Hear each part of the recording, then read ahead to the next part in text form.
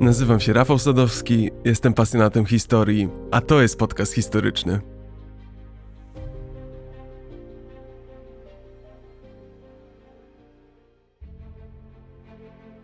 Przed wami moment absolutnie wyjątkowy w historii ludzkości. Spotkanie twarzą w twarz dwóch skrajnie różnych cywilizacji, oddalonych od siebie o cały znany wówczas świat.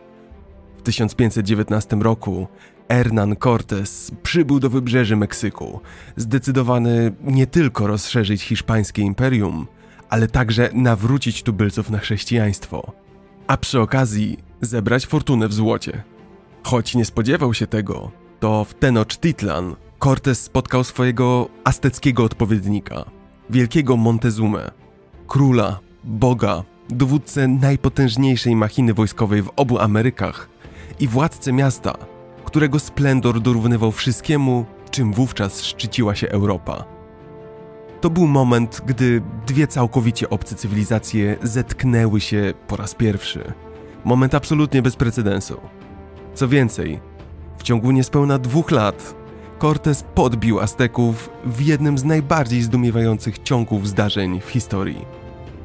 To opowieść o tajemniczym królestwie, nieugiętym zdobywcy i skazanym na zagładę Imperium Azteków. Oto historia w najbardziej porywającym jej wydaniu. Gotowi? Nadszedł czas, gdy razem poznamy tę niezwykłą kulturę Azteków. Nadszedł czas, gdy prześledzimy, jak została odkryta i podbita przez Europę. Naszym przewodnikiem i kapitanem zaś będzie nie kto inny, jak sam wielki konkwistador Hernán Cortés. Zaczynamy! Podcast historyczny to projekt, który tworzę sam jeden, od pomysłu aż do realizacji. Wyłącznie z mojej pasji do historii i wyłącznie dzięki Waszemu wsparciu. To nasze wspólne dzieło, dostępne za darmo na każdej platformie. Dlatego tak wdzięczny jestem każdemu wspierającemu patronowi. Dzięki Wam mogę spędzać długie godziny na opracowywaniu jak najlepszych odcinków, tak aby opowiadać o historiach, o których tak lubicie słuchać. Jeśli macie ochotę wesprzeć podcast, będę za to ogromnie wdzięczny. Aby to zrobić, kliknijcie w link w opisie odcinka.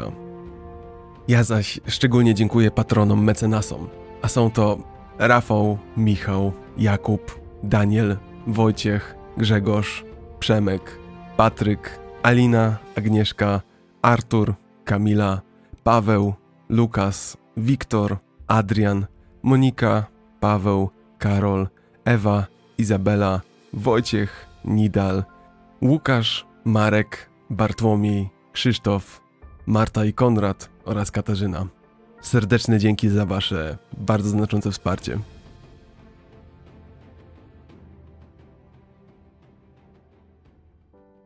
Zaczniemy dzisiaj trochę inaczej. Czy wiedzieliście, że według szacunków dziś na świecie pozostało około 100 plemion, które nigdy nie miały prawie żadnego kontaktu z ludzką cywilizacją?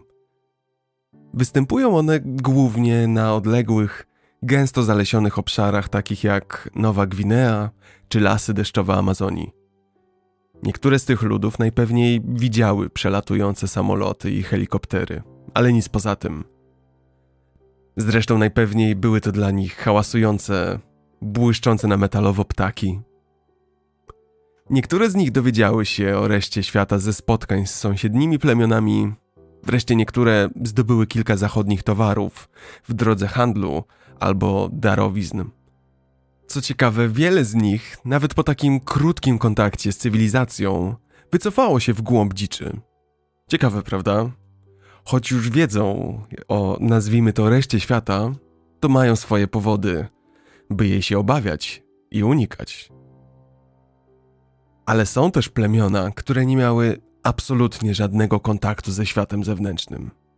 Żyją w pełnej, głębokiej niewiedzy, jak wielki jest świat poza nimi. Wyobraźcie tylko to sobie. Urodzić się na skrawku lądu wielkości na przykład dzisiejszej małej wsi – i nie wiedzieć absolutnie nic o tym, jak wielka jest cała Ziemia.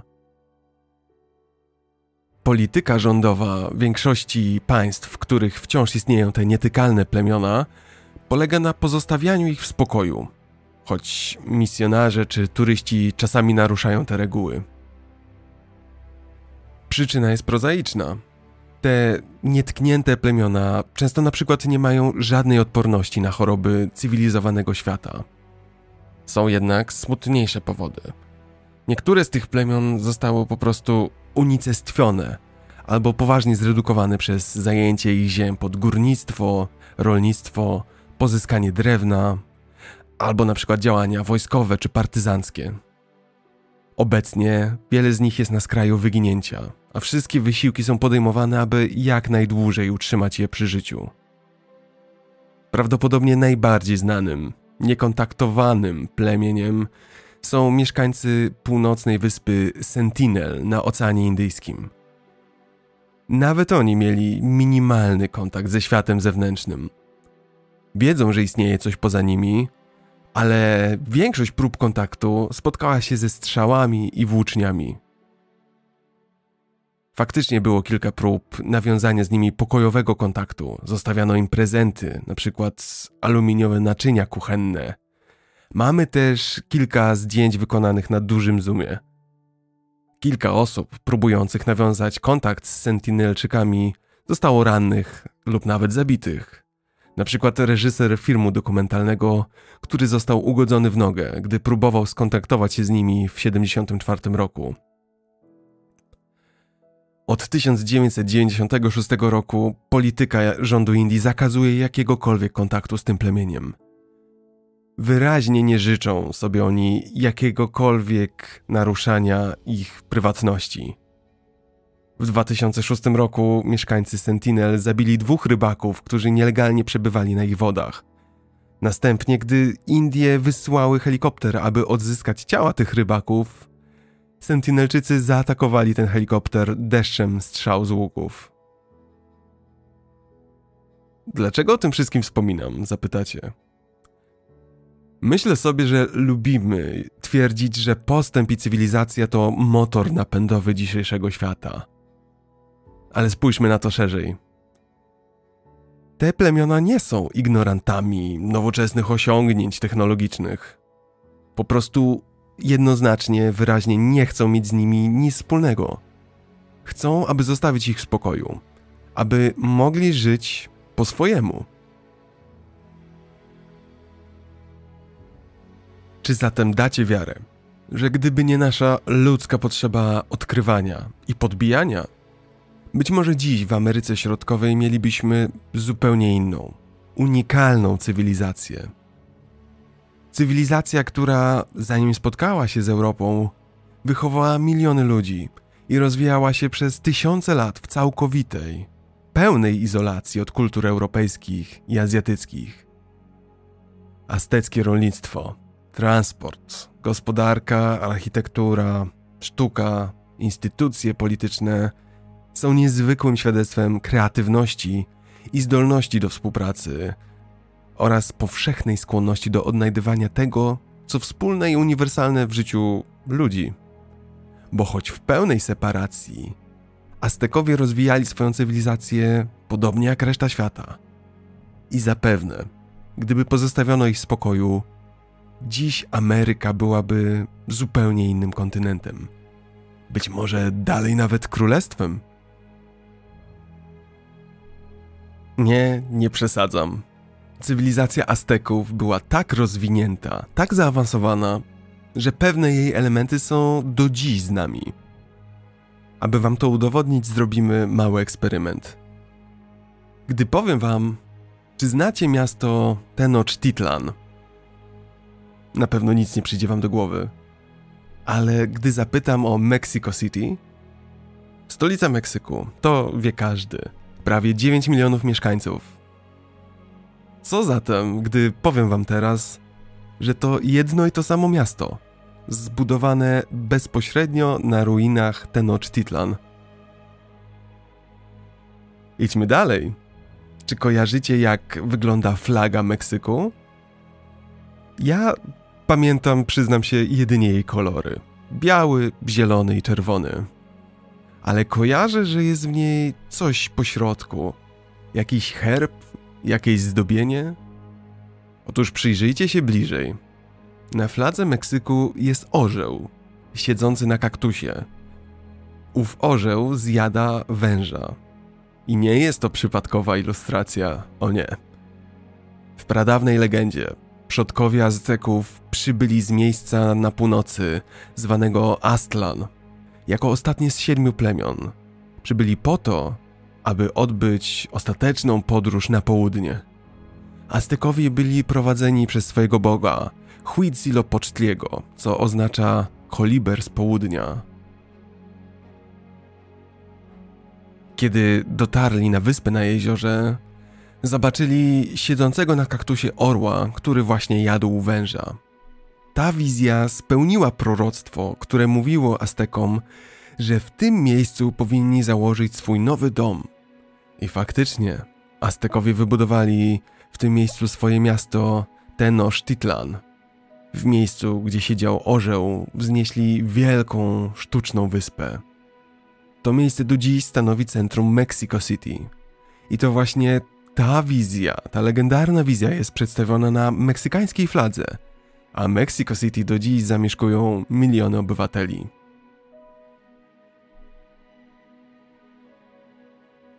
Zapraszam Was zatem daleko za Ocean Atlantycki, do miejsca, gdzie kultura aztecka się rodziła, do Ameryki Środkowej, do Doliny Meksyku. Była ona otoczona górami i pięknymi jeziorami. Wiele obszarów, na których żyli Aztekowie, było bagnistych, ale jednocześnie nie brakowało także obszarów suchych. Tropikalne ptaki, małpy, jelenie, kojoty, jaguary, jadowite żaby, węże, bogato rosnące rośliny kakaowca, różne trawy, wysokie drzewa i wielokolorowe kwiaty. To wszystko będzie nam towarzyszyć w naszej podróży. I już tutaj możemy doszukać się jednej z wielu rzeczy, jakie do dziś przetrwały w naszej cywilizacji, a którą wzięliśmy wprost od Azteków. A chodzi o kakao. Faktycznie, jednym z największych darów dla świata od Azteków jest czekolada. Ziarno kakaowca było bardzo cenione w Imperium Azteków. Było używane jako waluta, ale także jako aztecki napój. Ziarno kakaowca Aztekowie używali do produkcji gęstego napoju czekoladowego, ale znacznie różniącego się od gorącej czekolady, którą znamy dzisiaj. Aztekowie bowiem nie znali cukru. Dlatego też do kakao dodawali paprykę, mączkę kukurydzianą i różne przyprawy. Spróbujcie sobie przyrządzić takie pikantne, zawiesiste kakao dziś. Podobny gorący napój z mąki kukurydzianej, znany jako atole, jest popularny w Meksyku do dzisiejszego dnia. Ale skąd w dalekim Meksyku w ogóle ludzie? Lubimy przecież myśleć, że cywilizacja ludzka to domena Europy, a w dalszej perspektywie dawnych przodków z Afryki. I że rzekomo ludzkość niemalże pojawiła się z Kolumbem w Amerykach. Ale rzeczywistość jest taka, że okupacja przez ludzkość obu Ameryk rozpoczęła się dawno temu – gdy ludzie zaczęli emigrować z euroazjatyckiej masy lądowej na wschód. Było to między 40 tysięcy a 15 tysięcy lat temu, podczas ostatniej wielkiej epoki lodowcowej. Nasi przodkowie podróżowali po moście lądowym między Azją a Ameryką Północną. Gdy dotarli na miejsce do Ameryki, niektóre ludy ruszyły na wschód i zasiedliły północną część Ameryki Północnej – inne przemieszczały się dalej na południe, do najbardziej południowych regionów Ameryki Północnej i Południowej. Wkrótce w tym regionie powstały trzy główne cywilizacje: Majów, Inków i właśnie Azteków. Schemat rozwoju cywilizacji jest taki sam jak na całym świecie i jak w całej historii. Udomowienie i rolnictwo prowadzi do powstawania pierwszych osad ludzkich które dalej się rozrastają, rozwijają, wynajdują nowe wynalazki itd., tak itd. Tak Ale to, co czyni tę opowieść absolutnie wyjątkową, jest kompletna unikalność tych nowo powstających nacji. Ponieważ ludy te nie miały kontaktu z cywilizacjami Afryki, Azji i Europy, wykształcały swoją własną, bardzo odrębną tożsamość i kulturę, całkowicie inną niż ta europejska, a przez to tak niesamowicie ciekawą. Majowie byli najstarszą z trzech cywilizacji. Szczyt jej potęgi przypadał na lata 250 do 900 roku naszej ery, kiedy to Majowie władali dużym obszarem południowego współczesnego Meksyku i północnej części Ameryki Środkowej. Majowie nie mieli jednego przywódcy ani stolicy. Każde ich miasto miało swojego władcę, który rządził niezależnie. Majowie byli biegli w arytmetyce i astronomii. Posiadali także własną formę pisma hieroglificznego. Inkowie byli pierwotnie jednym z wielu plemion zamieszkujących Andy w Ameryce Południowej, na terenie dzisiejszego Peru. Podbijali inne plemiona i do 1493 roku Imperium Inków stało się najpotężniejsze w obu Amerykach, a jego stolicą było miasto Cusco. Ich terytoria rozciągały się na 4000 km na zachodnim wybrzeżu Ameryki Południowej. Obejmowały części współczesnego Chile, Ekwadoru, Peru i Boliwii. Aby zarządzać swoim imperium, Inkowie stworzyli sprawny system administracyjny, rozbudowaną sieć dróg i strategicznie budowane kamienne fortece. Doskonale radzili sobie z obróbką metali, takich jak srebro, miedź i złoto. Budowali skomplikowane miasta i świątynie. Zresztą jednym z najbardziej znanych przykładów jest słynne Machu Picchu, położone wysoko na szczycie gór. Wreszcie moi ulubieni, czyli Aztekowie. Aztekowie byli grupą, która wywodziła się z północnej części współczesnego Meksyku. Byli cywilizacją o bogatym dziedzictwie kulturowym, której stolica, Tenochtitlan, mogła rywalizować z największymi miastami Europy pod względem wielkości i wspaniałości. Aztekowie nazywali siebie Mexica. Aztekowie to inaczej Mexikowie. Podbijając konkurencyjne plemiona indiańskie, Aztekowie wkrótce stworzyli imperium, które rozciągało się między Oceanem Spokojnym a Zatoką Meksykańską. I to właśnie w podróż w głąb imperium Azteków dziś Was zapraszam. Mam tylko jedną prośbę. Zapomnijcie o wszystkim, co znacie z historii ludzkości. Potraktujcie Waszą wiedzę jako czystą kartę. W ten sposób będziecie dużo lepiej podchodzić do tego, jak Aztekowie rozumieli świat, religię, politykę czy rządy.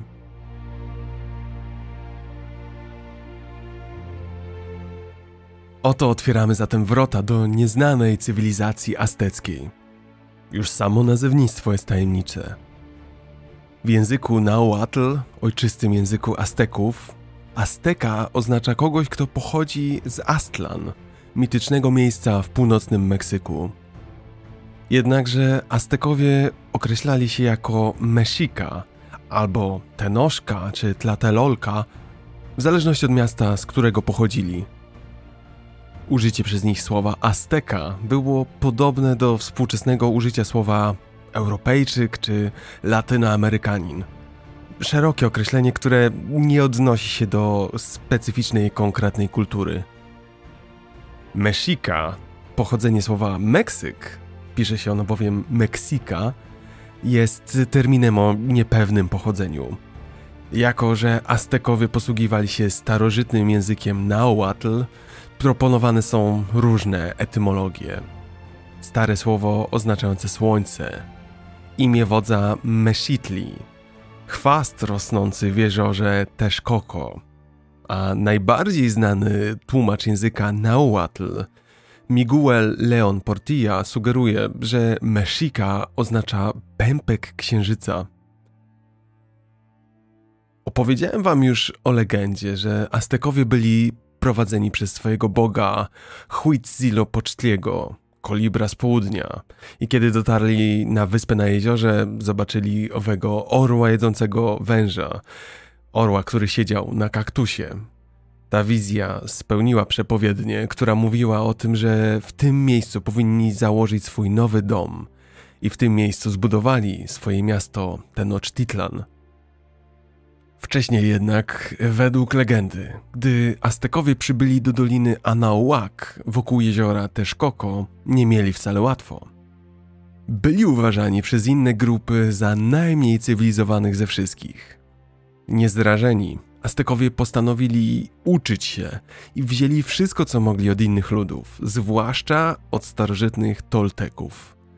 Dla Azteków Toltekowie byli twórcami kultury – Toltekajotl w języku Nahuatl oznaczało synonim kultury, osoby kulturalnej. A jak Aztekowie tłumaczyli stworzenie świata? Jako, że przyjęli i połączyli kilka tradycji z własnymi, wcześniejszymi, mieli kilka mitów o stworzeniu. Jeden z nich, najbardziej znany, opisuje cztery wielkie epoki poprzedzające obecny świat – z których to każda kończyła się katastrofą.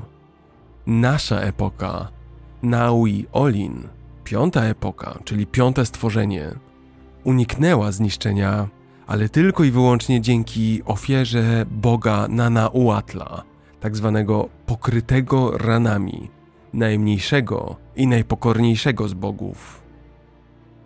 Bóg ten w ramach swojej ofiary został przemieniony w słońce i towarzyszy nam do dziś. Inny mit aztecki opisuje Ziemię jako dzieło bliźniaczych bogów. Tezcatlipoca, czyli dymiącego zwierciadła, i Quetzalcoatla. Tezcatlipoca stracił stopę w procesie stworzenia świata. Wszystkie przedstawienia Pokazują go bez stopy i z odsłoniętą kością u nogi. Quetzalcoatl reprezentował świadomą inteligencję, a Tezcatlipoca jej przeciwieństwo. Ten pierwszy był jaśniejszą, a ten drugi ciemniejszą stroną ludzkiej natury. Tezcatlipoca rządził nocą, powierzchnią ziemi i był bogiem wojny. Quetzalcoatl reprezentował świt i wschodzące słońce, a także uzdrowienie, mądrość, sztukę, poezję, umiejętności i rzemiosło. Został jednak wygnany przez dymiące zwierciadło, a wojna zdominowała ludzkie sprawy, pogrążając ten egzotyczny lud w chaosie. Azteccy uczeni przepowiadali jednak, że rok 1519, czyli 500 lat po jego odejściu, będzie zwiastunem wielkiego powrotu Quetzalcoatla, czyli pierzastego węża, a wraz z nim nastanie nowa, bardzo harmonijna epoka pod jego przewodnictwem. Niektórzy uczeni przepowiadali, że powróci on z towarzyszącymi mu białymi bogami. Proszę, zapamiętajcie tę datę 1519 i powrót Boga z towarzyszami. Obiecuję, że wkrótce stanie się jasne, dlaczego jest ona tak kluczowa. Legendy legendami. Najciekawsze w tym wszystkim jest to, że faktyczna historia Azteków jest równie interesująca. Mieli oni w sumie dwunastu władców lub Tlatoani. Od legendarnego założyciela, Tenosza, po kilku kolejnych w 1502 Montezuma II, a ostatni z nich panujący w 1521 roku Cuauhtémoc. Jeszcze jednak w XII wieku w Dolinie Meksyku i okolicach znajdowało się wiele państw miast należących do ludności mówiących językiem Naua. Żadne z nich nie było na tyle potężne, by zdominować inne miasta. Wszystkie były dumne ze swojego tolteckiego dziedzictwa. Azteckie kroniki opisują ten czas jako złoty wiek, kiedy to powstała muzyka, ludzie uczyli się sztuki rzemiosła od ocalałych Tolteków, a władcy organizowali konkursy poetyckie w miejsce wojen. XIII i XIV wiek to czas, gdy wokół jeziora Texcoco w dolinie Anahuac Najpotężniejszymi z tych miast państw były Colhuacan na południu i Azcapotzalco na zachodzie. Ich panowanie rozciągało się na cały obszar wokół tego jeziora. Mówię o tym, gdyż gdy obcy Mexikowie przybyli do doliny Anahuac, nie mieli gdzie się osiedlić. Wszystkie miejsca były zajęte. Ustanowili się tymczasowo w Chapultepec, ale wkrótce zostali stamtąd wypędzeni. Następnie udali się do strefy zdominowanej przez Colhuacan i w 1299 roku dostali pozwolenie na osiedlenie się w Tizapan, skalistym miejscu, gdzie nikt inny nie chciał mieszkać. Aztekowie jednak byli zdeterminowani. Zaczęli przejmować od Colhuacan tyle kultury, ile mogli. Brali i żenili się z kobietami z Colhuacan, aby te kobiety mogły uczyć ich dzieci. 1323 roku Aztekowie poprosili nowego władcę Colhuacan, Achicometla, o jego córkę, gdyż chcieli uczynić ją boginią. Achicometl oddał swoją córkę, nie wiedząc jednak, że Aztekowie będą tak dalece ją szanować i respektować, że jako wyraz najwyższego respektu złożą ją w ofierze bogom. Mieszkańcy Colhuacan byli tym przerażeni i wypędzili Mexików ze swych ziem. Zmuszeni do ucieczki, w 1325 roku udali się na małą wysepkę w centrum jeziora, gdzie zaczęli od zera budować swoje miasto, Tenochtitlan, tworząc dużą sztuczną wyspę.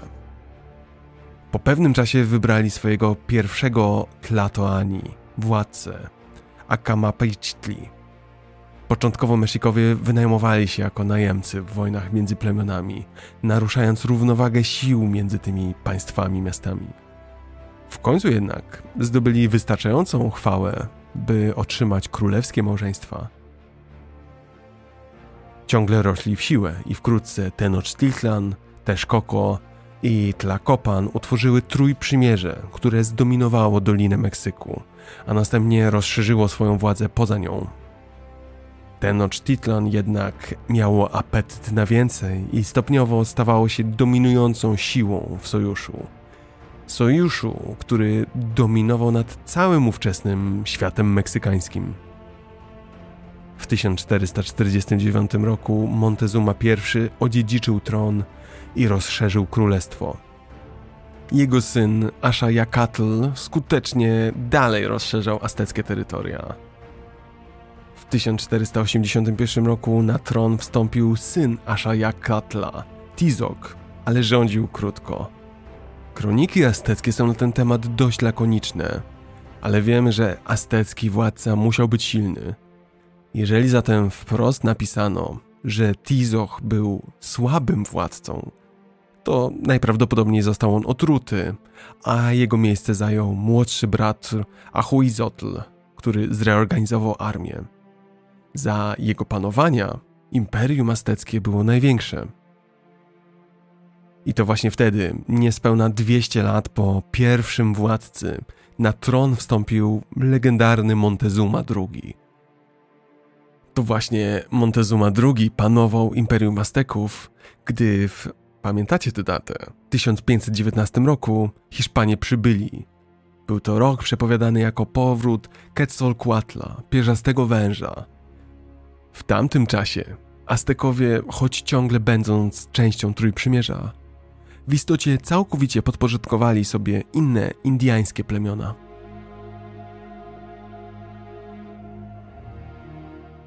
Dobrze zatem, jak wyglądało owe potężne imperium Azteków? Jak wyglądała ich władza, administracja i polityka? Jak większość imperium europejskich, te azteckie było etnicznie bardzo zróżnicowane. Jednocześnie w przeciwieństwie do większości tych europejskich, było bardziej systemem danin niż jednolitym systemem rządów. Choć plemiona i miasta pod panowaniem Azteków płaciły ciężkie daniny na rzecz władzy, to wykopaliska w prowincjach rządzonych przez Azteków pokazują stały wzrost dobrobytu zwykłych ludzi po podbiciu przez Azteków. Było to prawdopodobnie spowodowane wzrostem handlu dzięki lepszym drogom i komunikacji. Rozumiecie, im bogatsza gospodarka, tym więcej pieniędzy z podatków i tym więcej przeznacza się na poprawę bytu zwykłych ludzi. A Aztekowie kochali handel. Handlowali nawet rzeczami, które mogli wyprodukować lokalnie. Czynnikiem było prawdopodobnie azteckie zamiłowanie do nowości i ich duża ciekawość wszystkiego, co może przynieść los każdego dnia. Najważniejszy urząd miasta państwa, stolicy azteckiej, Tenochtitlan, jest nazywany często cesarzem czy imperatorem Azteków. Istotnie, tytuł najwyższego władcy azteckiego, Uey Latoani, tłumaczy się jako wielki mówca. Wiemy, że większość Imperium Azteckiego została wykuta przez jednego człowieka, Tlacaelel, czyli męskie serce, który żył między 1397 a 1487.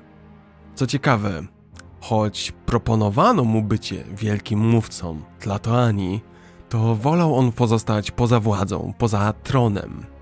Jego tytuł brzmiał Cihuacuatl, czyli doradca, ale jak donosi Kodeks Ramirez, czyli średniowieczny rękopis, który opisywał historię Azteków, co Tlacaelel nakazał, równie szybko wykonywano.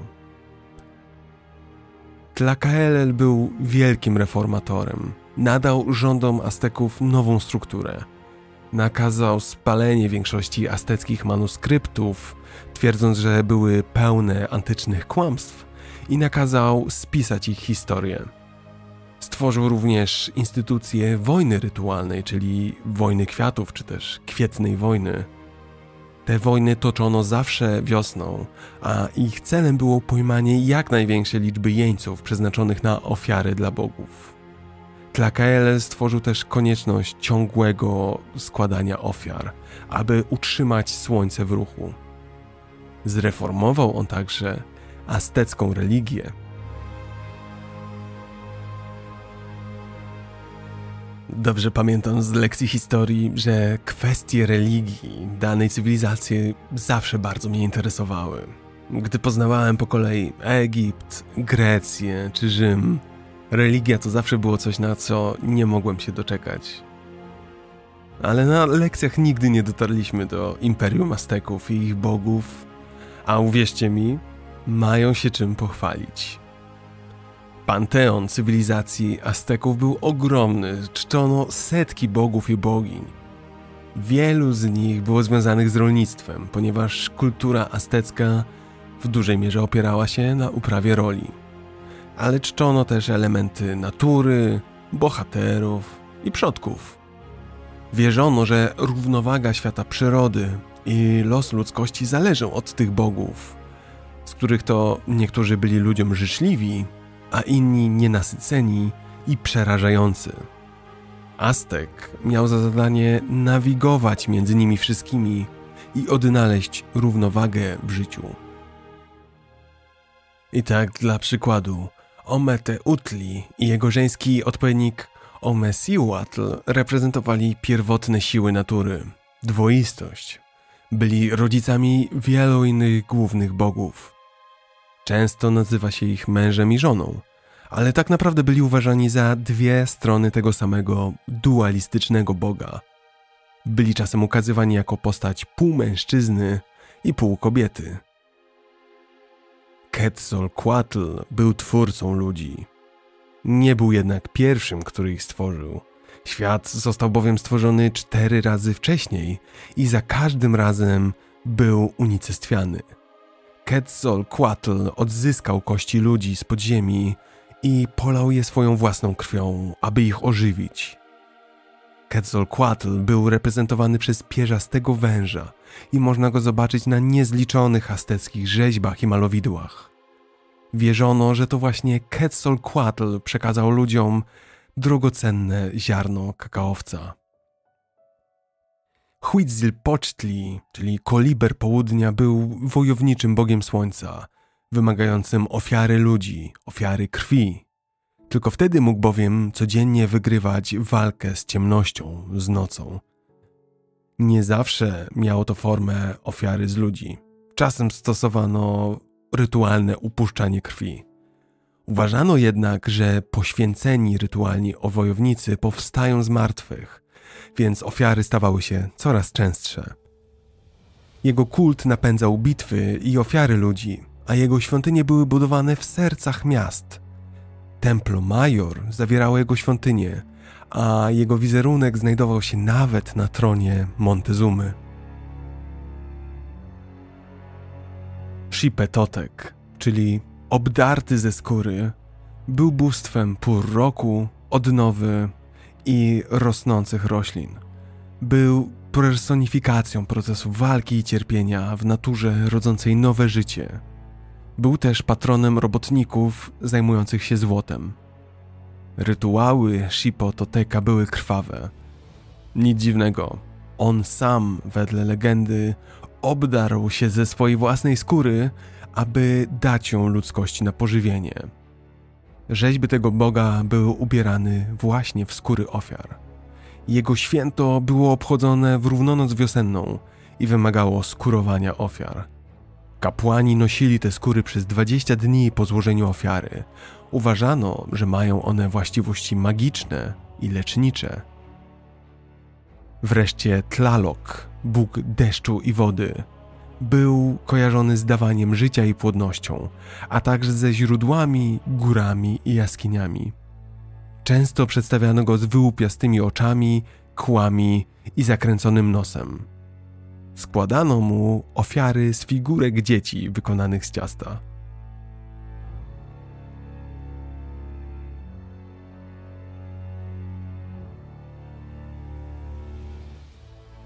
Myślę, że po tym fragmencie zgodzicie się, że Aztekowie na każdym kroku różnią się od tego, co znamy z Europy. Ale spokojnie, są też pewne podobieństwa.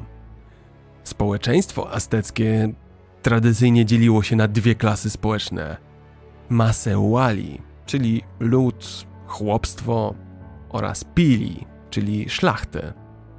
Przynależność do Pili wyższej klasy nie była dziedziczna, ale synowie Pili mieli dostęp do lepszych zasobów i edukacji, więc łatwiej ostatecznie było im zostać Pili. To zresztą mechanizm, który poniekąd funkcjonuje w naszym społeczeństwie do dziś. Bogactwo rodzi bogactwo w kolejnym pokoleniu. Ale tu podobieństwa się kończą.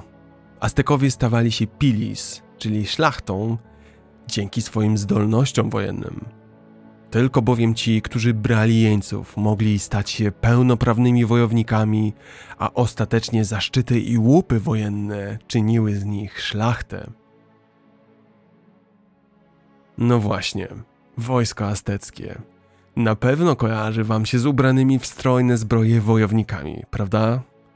I rzeczywiście, największą cnotą azteckiego wojownika było zostanie wojownikiem orła lub wojownikiem jaguara. To dwie różne pozycje, dwie można by powiedzieć najwyższe klasy wojownika. W przypadku wojowników jaguara Motyw tego drapieżnika był używany ze względu na wiarę, że jaguar miał reprezentować Tezcatlipoca, boga dymiącego zwierciadła. Aztekowie nosili ten strój w walce, ponieważ wierzyli, że siły jaguara wspomogą ich podczas bitew. Wojownicy jaguara walczyli drewnianą maczugą nabijaną ostrzami z obsydianowego szkła wulkanicznego, zwaną Makłahuitl. Używali również włóczni, i atlatl, czyli miotacza oszczepów. Atlatl była to broń w postaci wydrążonego, płaskiego kawałka drewna, na końcu którego znajdowało się hakowate zagłębienie, będące miejscem na umieszczenie końcówki drzewca oszczepu albo innego pocisku. Aby zostać wojownikiem Jaguara, członek azteckiej armii musiał wziąć do niewoli czterech jeńców podczas walki – Dlaczego jednak schwytać, a nie zabić? Aztekowie wierzyli, że łapiąc wroga żywcem, W ten sposób oddaje się cześć bogom w sposób znacznie większy niż zabijając go na polu bitwy. Dla wojownika zabicie wroga było uważane za niezdarność, za pójście na łatwiznę. A o tym, co dalej robiono z jeńcami, jeszcze opowiem. Tymczasem druga elitarna klasa wojownicy orłów. Składali się oni z najodważniejszych żołnierzy z szlachetnego urodzenia oraz tych, którzy w bitwie wzięli największą liczbę jeńców. Orzeł wynika, jak pamiętacie, z legendy o Orle i założeniu stolicy Azteków. Ten symbol nie jest przypadkowy. Ze wszystkich azteckich wojowników to właśnie wojowników orła obawiano się najbardziej. Wojownik orła to najwyższy zaszczyt wojskowy. I ten symbol jest do dziś obecny w kulturze meksykańskiej. Nawet dziś niektóre firmy wykorzystują wojownika orła jako symbol oznaczający siłę, konkurencyjność, ale też pamięć o starożytnych kulturach Meksyku. Na przykład logo linii lotniczych Aeromexico przedstawia właśnie wojownika orła. Kiedy aztecy chłopcy osiągali wiek dorosły, przestawali obcinać włosy. Musieli je zapuszczać dotąd, aż nie wzięli pierwszego jeńca. Dopiero wtedy mogli się ostrzyc. Dla wojownika azteckiego wstydem było nosić długie włosy. Oznaczało to, że nie jest w stanie pojmać jeńców. Czasami dwóch lub trzech młodzieńców musiało łączyć swoje wysiłki, aby zdobyć tylko tego pierwszego jeńca. Wtedy nazywano ich Ijak. Jeśli jednak po pewnym czasie, zwykle trzech nieudanych walkach, nie udawało im się pochwycić jeńca, spadali do najniższej klasy społecznej Maseuali. Aby zaś Aztek został wybranym na Tlatoani, czyli przywódca Azteków, musiał schwytać żywcem aż 17 jeńców. Zamiłowanie Azteków do handlu doprowadziło jeszcze do powstania i rozkwitu trzeciej klasy, która nie była częścią tradycyjnego społeczeństwa azteckiego, tak zwani pocztekas, czyli handlarze. Ich działalność nie ograniczała się tylko do handlu. Byli także skuteczną siłą zbierającą i wymieniającą informacje po całym imperium. Wojownicy korzystali z usług handlarzy, aby wymieniać swoje łupy wojenne w zamian za pióra, niewolników czy inne drogocenne przedmioty.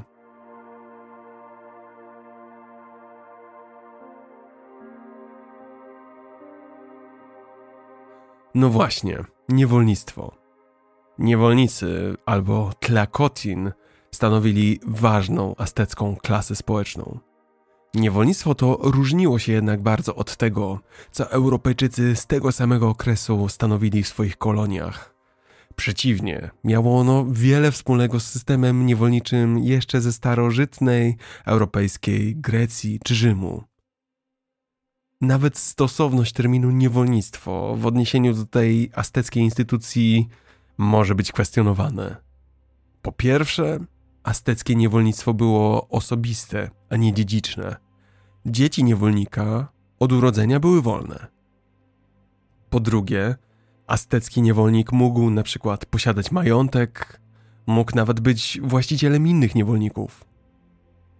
Co więcej, niewolnicy mogli kupić swoją wolność, mogli nawet zostać urzędowo wyzwoleni, jeśli wykazali, że byli źle traktowani przez właściciela. Zazwyczaj po śmierci pana uwalniano niewolników, którzy najlepiej mu służyli. Reszta niewolników była przekazywana jako część spadku.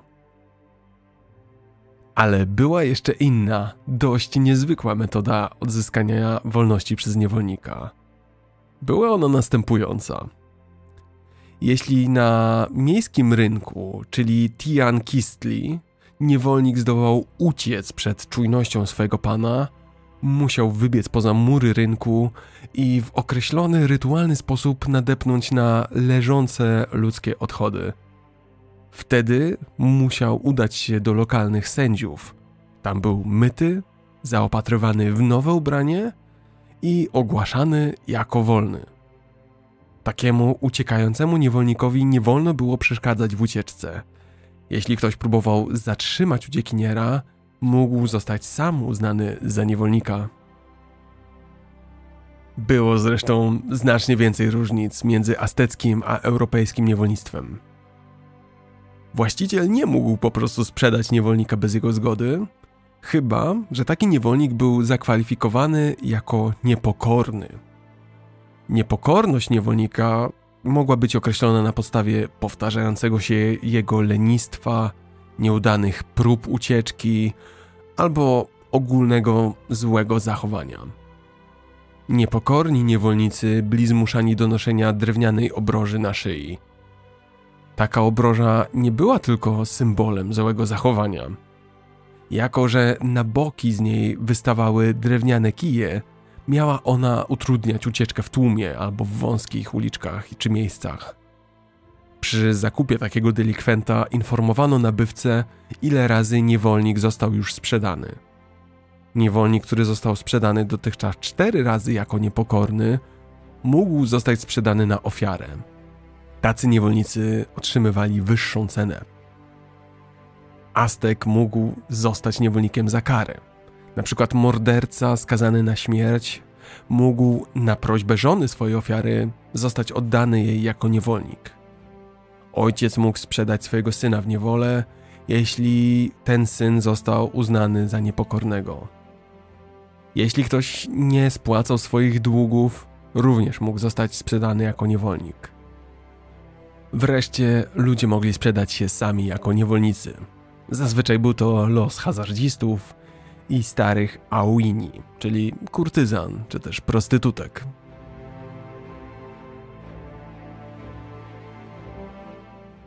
Niewolnictwo to ciężki temat. Zrelaksujmy się zatem trochę, dobrze? Może chcielibyście się czegoś napić? Może coś mocniejszego? Niestety zły adres.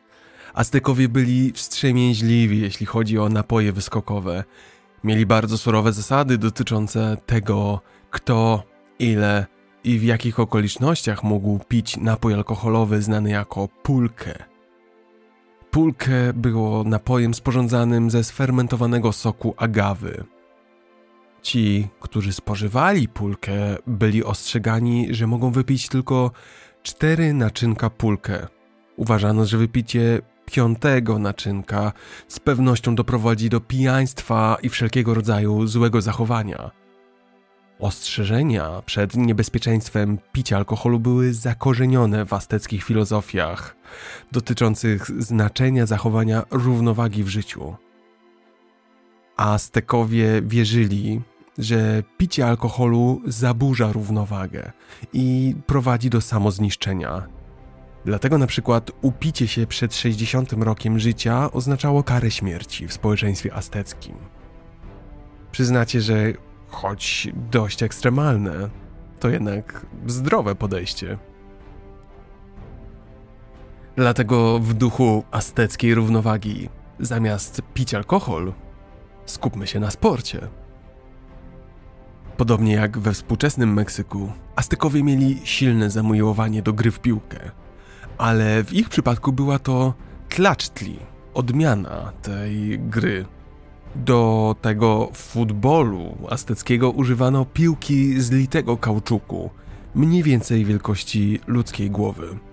Piłkę nazywaną oli. Gracze uderzali piłkę biodrami.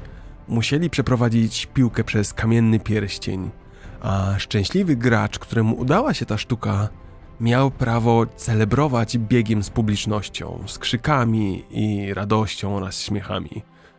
Celebracja trochę jak po golu w piłce nożnej, prawda? To nie koniec podobieństw do futbolu. Widzowie obstawiali wyniki gry.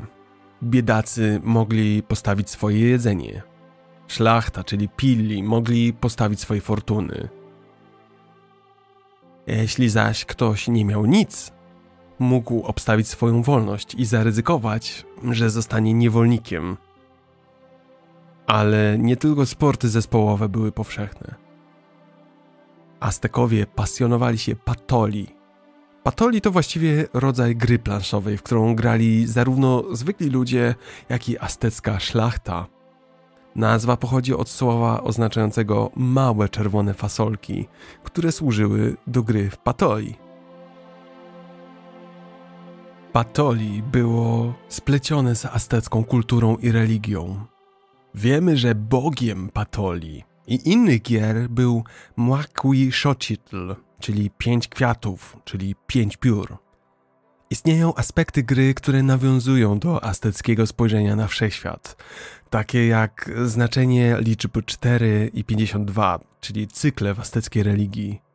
Przed rozpoczęciem rundki patoli składano ofiary kostką w nadziei, że bogowie przyniosą zwycięstwo. Wyobraźcie sobie takie religijne aspekty podczas gry w Monopolii na przykład.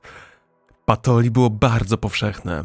Normą było widzieć graczy chodzących po ulicach ze swoimi matami do patoli, gotowych na następne rundki gry. Wiele innych gier i sportów było powszechne w Imperium Azteków. Popularne było wszystko, co sprawdzało umiejętności i wytrzymałość. Dzieci bawiły się łukami i strzałami, marmurowymi kulkami, rzucały kamieniami do celu. Dla dorosłych tańce oraz rytualne bitwy były często uważane za formę rozrywki. Do tego oczywiście bardzo popularna muzyka.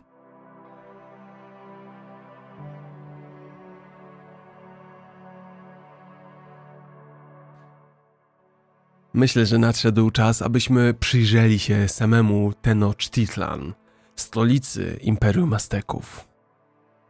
Nie ma zgody co do szacunkowej liczby ludności miasta. Większość preferuje konserwatywną liczbę 80 tysięcy do 130 tysięcy mieszkańców, wciąż większą niż wiele ówczesnych miast europejskich. Przewyższało ją jedynie Konstantynopol, Paryż czy Wenecja. Hiszpańskie relacje mówią aż o 50 tysiącu domów i między 300 a 700 tysięcy mieszkańców, jeśli wliczyć do tego populację małych miast satelitarnych i wysepek wokół Tenochtitlan. Stolica była sprawnie, geometrycznie wręcz podzielona. Najpierw cztery główne strefy, czy też kampan.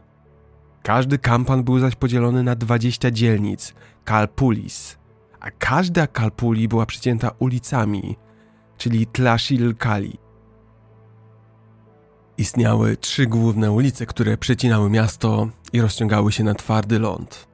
Były one wystarczająco szerokie dla dziesięciu koni.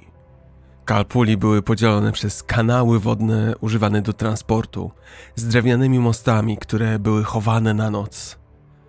O chowaniu na noc mostów między kanałami również pamiętajcie w dalszej części tej opowieści. Każda kalpuli, czyli jedna z 20 dzielnic, miała jakąś specjalność w sztuce i rzemiośle. Kiedy dana kalpuli organizowała jakieś święto, starała się prześcignąć inne kalpuli. Nawet dzisiaj, południowej części Mexico City, organizacje społeczne odpowiedzialne za uroczystości kościelne nazywane są właśnie kalpulis. Każda kalpuli miała swój własny rynek, czyli Tianquistli, ale był też główny rynek. Cortez szacował, że był on dwa razy większy od Sewilli i liczył około 60 tysięcy ludzi. Aztekowie nie mieli monet, więc większość handlu odbywała się w ramach barteru, wymiany towarów. Ale ziarna kakao używanego do produkcji czekolady były tak cenione, że czasem używano ich jako odpowiednika monet. Jeśli zaś o złoto chodzi, to dla Azteków złoto miało znaczenie zarówno symboliczne, jak i duchowe. Nawet słowo w języku Nahuatl oznaczające złoto, czyli Teokwitłat oznacza odchody bogów. Złoto było ściśle związane z autorytetem przywódcy, władzą, statusem i bogactwem. Władca Azteków miał wyłączną kontrolę nad kopalniami złota i warsztatami na swoim terytorium. W małych miasteczkach wokół Tenochtitlan istniały wyspecjalizowane rynki, czyli Tiankistli, które handlowały zastrzeżonymi dla siebie towarami. W Czololan były klejnoty, drobne kamienie i pióra. W Teszkoko były ubrania, w Akulma był targ psów. No właśnie, Aztekowie mieli trzy specjalne rasy psów bez sierści, z których jedna przetrwała do dziś – Shaw Lloyd's Quintle. Tak jak my rozróżniamy zwierzęta, które trzymamy w domach i te, które zjadamy, tak samo czynili to Aztekowie. Owe bezwłose psy służyły przede wszystkim do jedzenia, składano je także w ofierze. Ale Aztekowie mieli również psy do towarzystwa. Często, mając do nich wielki szacunek, składali je w ofierze, aby mogły służyć jako towarzysze w życiu pozagrobowym. Tenochtitlan było bardzo nowoczesnym miastem, jak na standardy średniowieczne. W centrum miasta znajdowały się budynki publiczne, świątynie i szkoły. Wewnątrz otoczonego murem pałacu znajdowało się centrum ceremonialne, a tam znajdowało się 45 budynków publicznych, w tym Templo Major, czyli świątynia główna, świątynia Quetzalcoatla, boisko do gry w piłkę, a także Compantli, czyli drewniana konstrukcja, coś w rodzaju biblioteczki, służącej do publicznego pokazywania czaszek jeńców złożonych w ofierze. Miasto miało wielką symetrię, a wszystkie nowe budowle musiały być zatwierdzone przez funkcjonariusza odpowiedzialnego za planowanie przestrzenne stolicy. Ale wszystko to blaknie przy tym, jak wyglądał epicki pałac Montezumy. Powiedzieć, że opływał w luksusy, to duże niedopowiedzenie. W pałacu znajdowało się 100 komnat do spania, każda z nich z własną łaźnią. Pałac Montezumy miał dwa ogrody zoologiczne. Jeden dla ptaków drapieżnych, a drugi dla innych zwierząt, w tym gadów i ssaków. Około 300 osób każdego dnia zajmowało się wyłącznie doglądaniem zwierząt. W pałacu znajdował się również ogród botaniczny i wielkie akwarium. Akwarium miało 10 oddzielnych stawów ze słoną wodą i 10 z czystą, słodką, w której znajdowały się ryby i ptaki wodne. Ale luksusy to nie tylko domena pałacu Montezumy. Zadziwiające, ale u Azteków można było na przykład znaleźć latryny nawet w prywatnych domach. Funkcjonowały też latryny publiczne na głównych ulicach. Małe łódki pływały przez miasto zbierając śmieci, zbierano też ekskrementy, które sprzedawano jako nawóz. Jednocześnie w stolicy było bardzo czysto. Około tysiąc mężczyzn było dedykowanych do czyszczenia ulicy miasta każdego dnia. Jak dbano o rytm dnia? Dla celów publicznych, a także aby móc nadać tempo sprawom urzędowym, trąbiono ze szczytów świątyń sześć razy dziennie. O wschodzie słońca, później rano, dalej samo południe, ponownie w połowie popołudnia, po zachodzie słońca i wreszcie o północy. Choć jezioro Texcoco, nad którym stała stolica, było słone, Aztekowie rozwiązali ten problem dostępu do bieżącej słodkiej wody. Tamy zbudowane przez Azteków e, utrzymywały miasto w otoczeniu czystej wody z rzek zasilających jezioro. Dwa podwójne akwedukty dostarczały miastu słodkiej wody. Była ona przeznaczona głównie do mycia i czyszczenia. Do picia preferowano wodę z górskich źródeł. Aztekowie zresztą bardzo dbali o czystość. Większość mieszkańców kąpała się dwa razy dziennie. Montezuma brał cztery kąpiele dziennie. Jako mydło stosowano korzenie roślin, do czyszczenia ubrań stosowano szorstki korzeń jeszcze innej rośliny. Stolicy nie uniknięto też, nazwijmy to, społecznych elementów. Byli zarówno żebracy, choć wedle prawa tylko kalekom wolno było żebrać, pojawiały się również prostytutki. W nocy w ciemnych zaułkach można było spotkać skąpo odziane panie z mocnym makijażem, głośno żyjące cykli, czyli oryginalną gumę do rzucia, mlaskając, aby przyciągnąć klientów.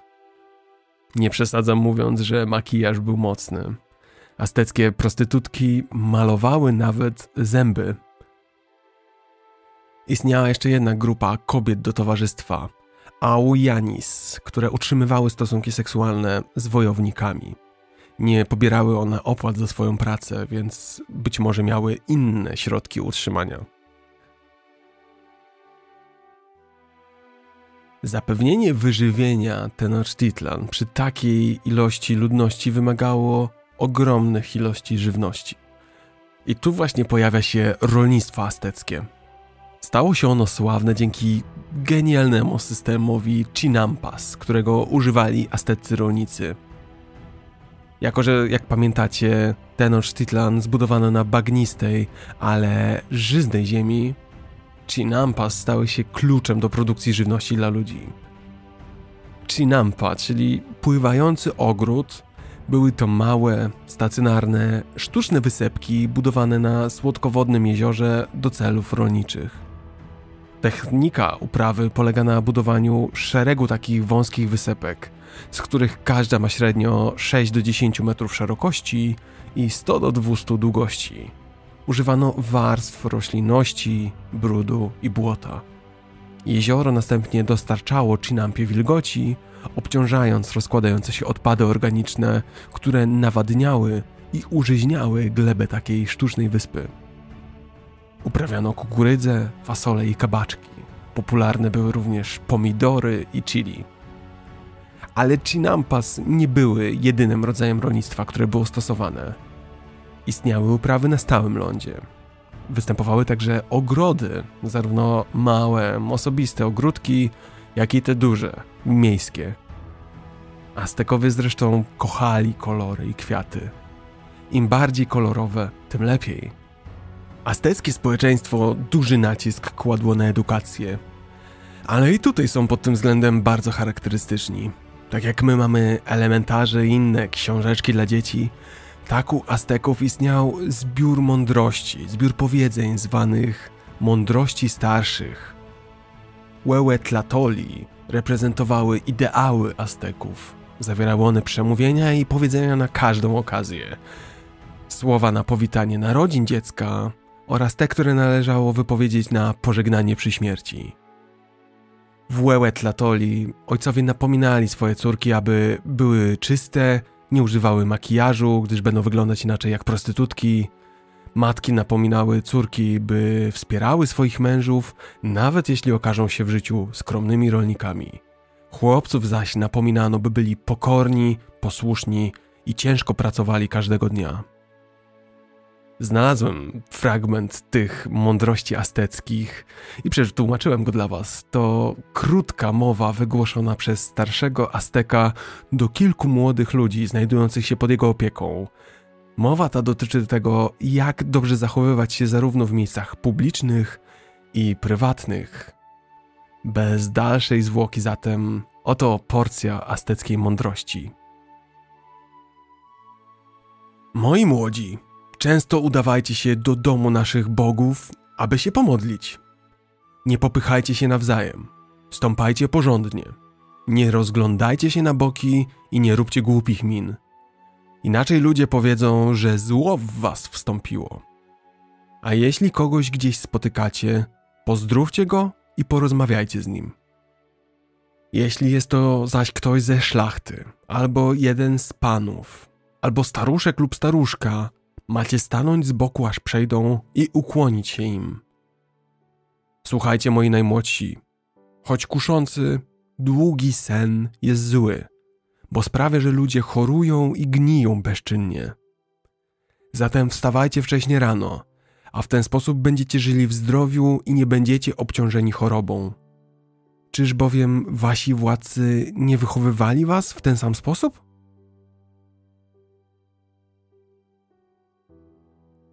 W kwestii wychowania zaś, do 14 roku życia dzieci wychowywali rodzice sami w domu. Gdy zaś dzieci płci męskiej kończyły 15 lat, szły do szkoły. Istniały dwa rodzaje instytucji edukacyjnych.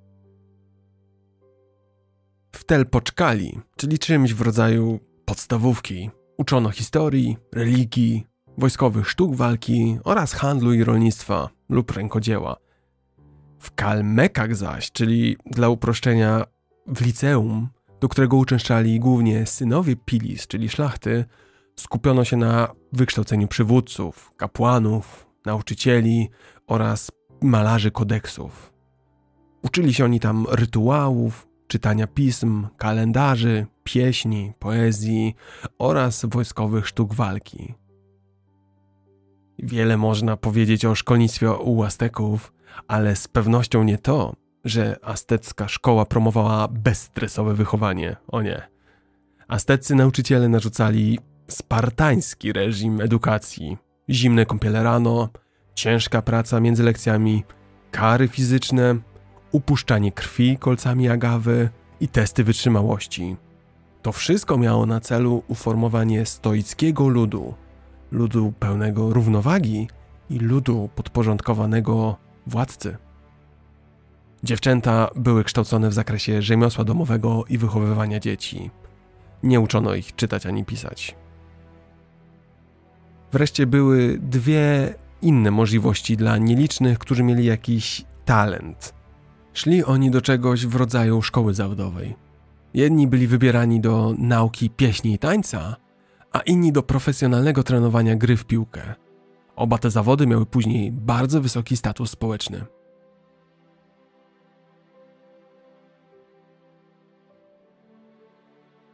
Nie wiem jak wy, ale ja lekko zgłodniałem. Może zatem coś przegryziemy, skoro już jesteśmy w stolicy azteckiego imperium. Aztekowie, tak jak powiedziałem, tworzyli na jeziorze sztuczne, pływające wyspy, na których uprawiali rośliny. Kukurydza to było podstawowe zboże imperium Azteków. Meksyk zresztą nadal jest jednym z czołowych krajów uprawiających i eksportujących kukurydzę na świecie. Kukurydza mogła być mielona na mąkę i używana do produkcji tortilli, do produkcji tamales, czyli do startej masy kukurydzianej owiniętej w liść kukurydzy. Wreszcie kukurydzy używano nawet do produkcji napojów. Kukurydza zmieniła świat chyba bardziej niż jakakolwiek inna żywność. Dziś jest używana nie tylko do jedzenia, ale również do produkcji słodyczy, do produkcji pasz, a nawet do produkcji przemysłowej, do wytwarzania chociażby taśmy klejącej. Jedzeniowe gusta Azteków obejmowały też fasole i kabaczki. Kukurydza i fasola to dwie podstawy meksykańskiej diety. To zresztą bardzo zdrowe połączenie, zwłaszcza jeśli nie jecie dużo mięsa. Dla urozmaicenia Mexikowie jedli chili, pomidory, limonki, nerkowce, ziemniaki, bataty, orzeszki ziemne, no i oczywiście kakao. Udomowili oni pszczoły dla miodu, indyki dla mięsa i jaj, a także psy i kaczki. Polowali i łowili. A ze zwierząt, jakie udawało się upolować, preferowali jelenie, króliki, a także ryby i krewetki. Jedzono również owady, np. pasi koniki i różne drobne robactwo. Te różne rodzaje mięsa stanowiły jednak bardzo niewielką część azteckiej diety.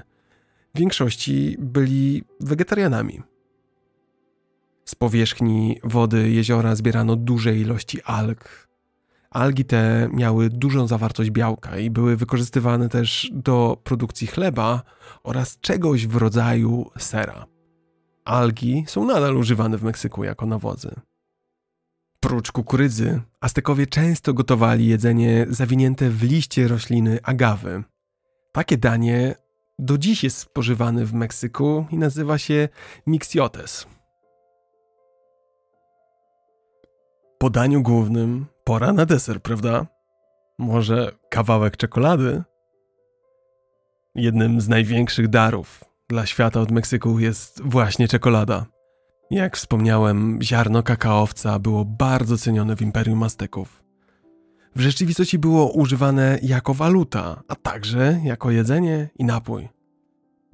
Choć Kolumb przywiózł kakao do Europy na początku 1500 roku, zostało ono wówczas w większości zignorowane. Dopiero Hernán Cortés miał inny pomysł na kakao dodał do niego cukier i wanilię. To zagwarantowało komercyjny sukces, a smaczny i słodki czekoladowy napój jest pity do dziś na całym świecie.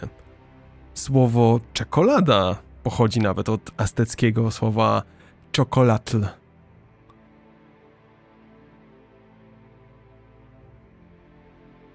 Przy okazji, wiele mówi się o rzekomym braku białka w diecie Azteków. Stanowić to ma poparcie argumentów o istnieniu kanibalizmu, aby uzupełniać braki zwierzęcego mięsa w diecie. Faktem jest, że mamy bardzo niewiele dowodów na kanibalizm Azteków. Zresztą kombinacja kukurydzy i fasoli zapewnia pełną pulę niezbędnych aminokwasów, więc tak naprawdę nie ma potrzeby stosowania białek zwierzęcych. Nie mamy zatem powodu przypuszczać, że z powodu ich diety cierpieli słabość czy choroby. Badania wskazują na średnią długość życia 37 lat dla populacji środkowej Ameryki. To na przykład 5 lat więcej niż w tym samym czasie w Anglii.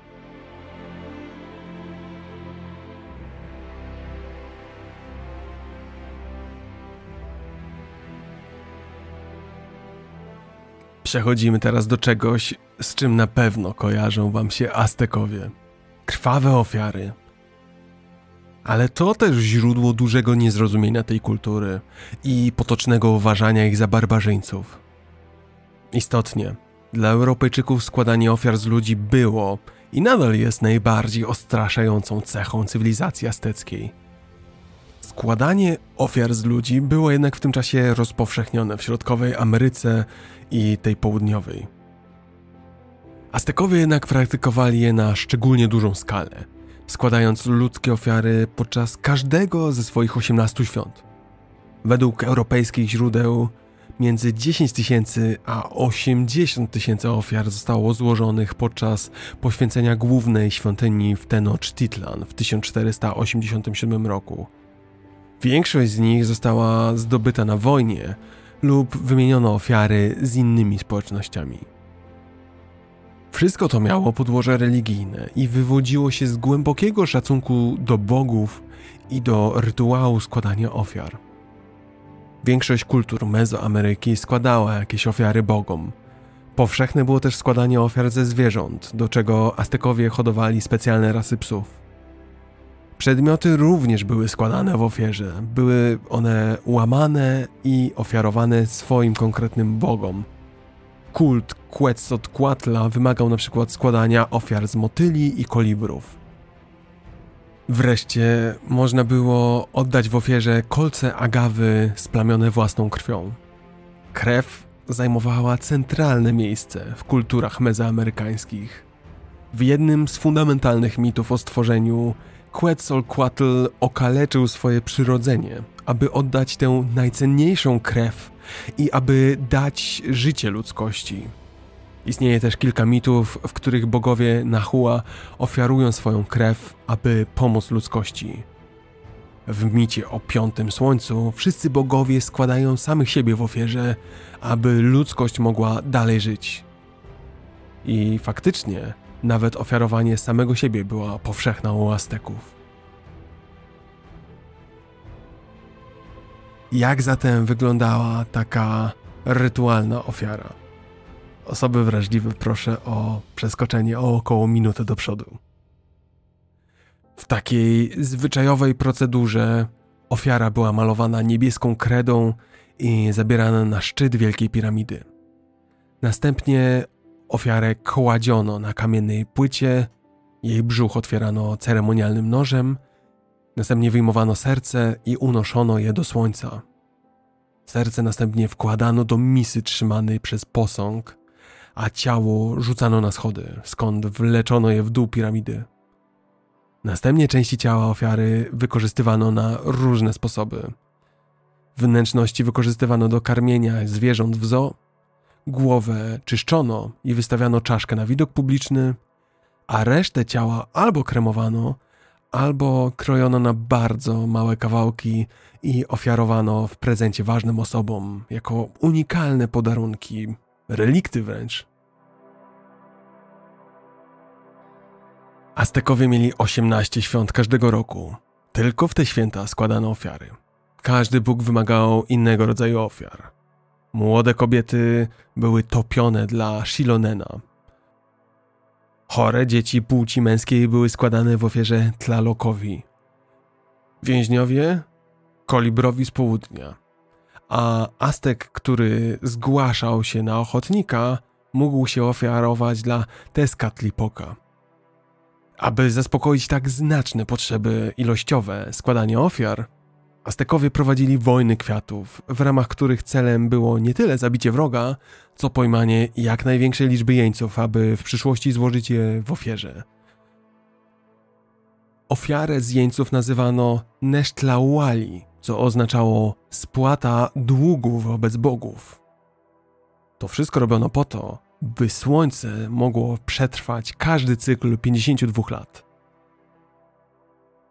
I jakby mało było tych zasad dotyczących rytualnych ofiar, komu co składano, to obowiązywał również swego rodzaju kodeks savoir-vivre podczas ceremonii. Na przykład były surowe kary dla tych, którzy ośmielili się krzyczeć albo na przykład zemdleli podczas oglądania ofiary z człowieka. Wystarczy już tej brutalności. Po tym dość intensywnym fragmencie kultury Azteków zajmiemy się czymś dużo lżejszym, duchowym. Co powiecie na wiersz? Nie żartuję. Poezja jest czymś naprawdę istotnym w kulturze Azteków. Czym zajmuje się dziś znany piłkarz poza sezonem? Być może otwiera swoje restauracje, być może udziela wywiadów, reklamuje nowe samochody, zegarki, perfumy. Ale u Azteków prawdziwego mężczyznę i prawdziwego wojownika poznawano po tym, jak dobrą poezję pisał. Poezja była jedynym zajęciem godnym azteckiego wojownika w czasach pokoju. Zachowała się wielka ilość tych wierszy. To właśnie w tej poezji możemy odnaleźć prawdziwą myśl Azteków, prawdziwą ich wrażliwość. W podziemiach Templo Major znajdował się Dom Orłów, gdzie w czasach pokoju aztecy wojownicy mogli pić pieniącą się czekoladę, palić dobry tytoń i urządzać konkursy poetyckie. Poezji towarzyszyły instrumenty perkusyjne, a powtarzające się tematy w tej poezji to czy życie jest prawdziwe, czy to tylko sen, czy istnieje życie pozagrobowe i jak zbliżyć się do bogów. I tak znalazłem jeden z takich azteckich wierszy dla Was i przetłumaczyłem go. W wolnym tłumaczeniu tak wyglądała aztecka poezja. Kim jesteś? Czy jesteś tu naprawdę? Niektórzy łgają o tym, co wokół. Och ty, wokół czego wszystko rodzi się i umiera. Czy to fałsz, czy rzeczywistość? Wielu wciąż powątpiewa, lecz ja wypędzam boleść z serca. Pogardzam wątpliwością. O ty, wokół czego wszystko rodzi się i umiera, wypędzam boleść z serca.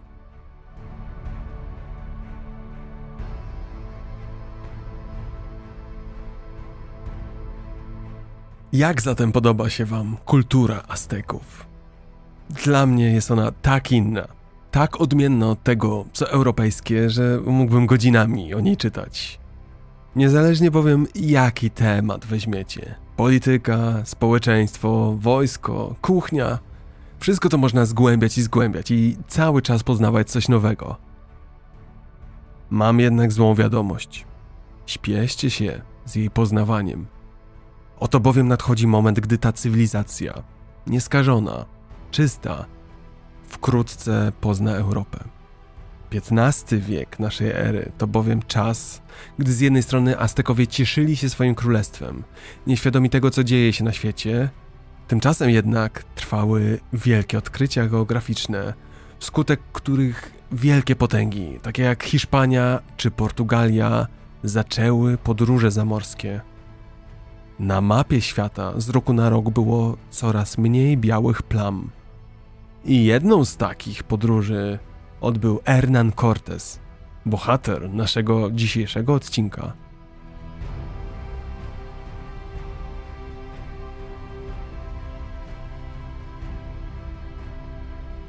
Zapraszam Was zatem na chwilę do XV i XVI wiecznej Europy. Dziś Hiszpania i Portugalia kojarzą nam się raczej z wypoczynkiem, słońcem, turystyką. Ale wówczas Europa była miejscem starcia dwóch potęg Portugalii i Hiszpanii, właśnie. Potęg, które zaczęły rozlewać na świat kulturę Zachodu i chrześcijaństwa. W tle tego wszystkiego zaś kryją się epickie przygody konkwistadorów. Istotnie, XV i XVI wiek to epoka eksploracji, która wyznaczyła najwcześniejszą fazę globalizacji. W tej fazie wcześniej izolowane grupy Afrykanie, rdzenni Amerykanie i Europejczycy po raz pierwszy zetknęli się ze sobą. Czasem z katastrofalnym skutkiem. Najpierw Portugalia. Jeszcze w 1400 roku książę portugalski Henryk Żeglarz stał na czele eksploracji Afryki i Atlantyku. Dzięki jego wsparciu portugalscy marynarze z powodzeniem żeglowali na wschód do Afryki, tworząc tam przyczółek, który stał się podstawą imperium handlowego Portugalii. Portugalscy marynarze zbudowali Atlantyckie Imperium, kolonizując Wyspy Kanaryjskie, Wyspy Zielonego Przelądka, Azory, a także Maderę. Kupcy wykorzystywali te atlantyckie posterunki jako punkty przeładunkowe dla kolejnych podróży. Z tych strategicznych punktów Portugalia rozprzestrzeniła swoje imperium na zachodnim wybrzeżu Afryki do Konga, wzdłuż zachodniego wybrzeża Indii, a w końcu do Brazylii, na wschodnim wybrzeżu Ameryki Południowej. Założyła także placówki handlowe w Chinach i Japonii. Choć Portugalczycy nie władali ogromnymi obszarami lądowymi, to ich strategiczne holdingi wysp i portów przybrzeżnych dawały im niemal bezkonkurencyjną kontrolę nad morskimi szlakami handlowymi. To oznaczało zaś prawdziwą rzekę złota, płynącą wprost do portugalskiego królewskiego skarbca. Podróże portugalskich kupców do zachodniej Afryki wprowadziły ich w świat afrykańskiego handlu niewolnikami, który już wcześniej był prężny lokalnie wśród państw afrykańskich. Widząc wartość tego źródła siły roboczej w uprawie dochodowego cukru na swoich atlantyckich wyspach, Portugalczycy wkrótce zaczęli eksportować z Afryki niewolników wraz z drogocenną kością słoniową i złotem. Cukier napędzał atlantycki handel niewolnikami, a wyspy portugalskie szybko stały się domem dla plantacji cukru. Hiszpania jednak nie próżnowała. Historia hiszpańskiej eksploracji zaczyna się od historii samej Hiszpanii. W XV wieku miała ona nadzieję uzyskać przewagę nad swoim rywalem, Portugalią. Małżeństwo Ferdynanda Aragońskiego i Izabeli Kastylijskiej w 1469 roku zjednoczyło katolicką Hiszpanię i rozpoczęło proces budowania narodu, który chciał konkurować o światową władzę. Jeszcze bowiem od 700 roku duża część Hiszpanii znajdowała się pod panowaniem islamu, a król Ferdynand II i królowa Izabela I, arcyobrońcy kościoła katolickiego przed islamem, byli zdeterminowani, by pokonać muzułmanów w Granadzie, ostatniej islamskiej twierdzy w Hiszpanii. 1492 rok to koniec rekonkwisty, trwającego od wieków chrześcijańskiego podboju Półwyspu Iberyjskiego. Koniec rekonkwisty oznaczał po pierwsze odzyskanie Hiszpanii dla chrześcijaństwa, a po drugie kolejny krok naprzód w procesie przekształcania Hiszpanii w imperialną potęgę. Ferdynand i Izabela zaś mieli duży apetyt, by iść dalej, już poza Hiszpanię. Ich celem było rozszerzenie katolicyzmu i uzyskanie przewagi nad Portugalią. W tym celu Ferdynand i Izabela sponsorowali szeroko zakrojoną eksplorację Atlantyku. Najsłynniejszy hiszpański odkrywca, Krzysztof Kolumb, pochodził z Genui we Włoszech. Wierzył, że korzystając z obliczeń opartych na podróżach innych żeglarzy, zdoła wytyczyć zachodnią drogę do Indii. Taka droga mogłaby posłużyć do rozwoju europejskiego handlu i szerzenia chrześcijaństwa. Podróże jednak to bardzo droga sprawa. Wiecie to z poprzednich odcinków podcastu. Dlatego Kolumb od 1485 roku zwracał się bez powodzenia do monarchów genueńskich, weneckich, portugalskich, angielskich, hiszpańskich. Prosił o statki i fundusze na zbadanie tej zachodniej trasy. Wszyscy, do których się zwracał, w tym początkowo Ferdynand i Izabela, nie wierzyli mu. Eksperci żeglarscy byli zgodni co do tego, że szacunki Kolumba dotyczące wielkości Oceanu Atlantyckiego były o wiele za niskie i że jego wyprawa zakończy się fiaskiem pośrodku oceanu. Jednakże po trzech latach błagań a co ważniejsze, po zakończeniu rekonkwisty, Ferdynand i Izabela zgodzili się sfinansować wyprawę Kolumba. Miało to miejsce w 1492 roku i dostarczyli mu trzy statki: Ninę, Pintę i Santa Marię. Hiszpańscy monarchowie wiedzieli, że wówczas portugalscy żeglarze zdążyli już dotrzeć do południowego krańca Afryki i opłynęli Ocean Indyjski. Rozumieli zatem, że Portugalczycy wkrótce dotrą do Azji i w tym konkurencyjnym wyścigu o dotarcie na Daleki Wschód hiszpańscy władcy muszą działać, nie było bowiem już czasu do stracenia. Kolumb istotnie miał błędne rozumienie tego, co spotka go podczas żeglugi na zachód. Myślał, że Ziemia jest znacznie mniejsza niż w rzeczywistości. A ponieważ nie wiedziano wówczas o istnieniu Ameryk, Kolumb spodziewał się, że płynąc na zachód od Europy, czyli potocznie mówiąc w lewo, w pewnym momencie po prostu dopłynie do Azji. Jednak po dwóch miesiącach podróży, 12 października 1492 roku, Kolumb dotarł do wyspy na dzisiejszych Bahamach. Następnie popłynął na wyspę, którą nazwał Hispaniola, dzisiejsza Dominikana i Haiti. Myśląc, że wylądował w Indiach Wschodnich, Kolumb nazwał tubylców, których tam znalazł, Indios, co dało początek terminowi Indianin dla wszystkich rdzennych mieszkańców Nowego Świata. Po powrocie Kolumba do Hiszpanii, korona hiszpańska nadała mu tytuł admirała oceanu, mianowała go gubernatorem i wicekrólem odkrytych przez niego ziem.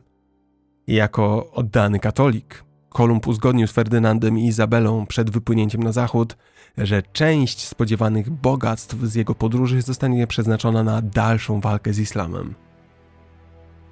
Ale chwileczkę. Dlaczego odkrycia Kolumba wzbudziły takie emocje, że do dziś jest on bez wątpienia najbardziej znanym odkrywcą i żeglarzem? Dlaczego nie szukano dalej drogi do Indii, tylko skupiono się już na Ameryce? Otóż zasługa w tym wyłącznie Kolumba. Po powrocie Kolumb wysłał do króla i królowej Hiszpanii dwa egzemplarze Probanza de Merito. Probanza de Meritos to były raporty i listy pisane do hiszpańskiej korony, mające na celu zdobycie królewskiego patronatu nad Nową Ziemią. I jakiż to był list? Oto fragment z 1493 roku, który ilustruje, jak fantastyczne opisy tego, co zastał, dały początek wielu mitom dotyczącym hiszpańskiego podboju Nowego Świata. Kolumb opisuje tutaj Hispaniolę. Przetłumaczyłem dla Was ten list. Hispaniola jest cudowna. Jest przede wszystkim ogromna, ma wiele naturalnych portów wzdłuż morza i wybrzeże przewyższające wszystkie w chrześcijaństwie. Ma też wiele pięknych, dużych, płynących rzek. Ziemia tam jest wzniesiona z wieloma górami i szczytami. Są one najpiękniejsze o tysiącu różnych form, dostępne i pełne drzew o nieskończonych odmianach, tak wysokich, że wydają się dotykać nieba. Powiedziano mi, że te drzewa nigdy nie tracą swoich liści. Jest tam miód i wiele rodzajów ptaków.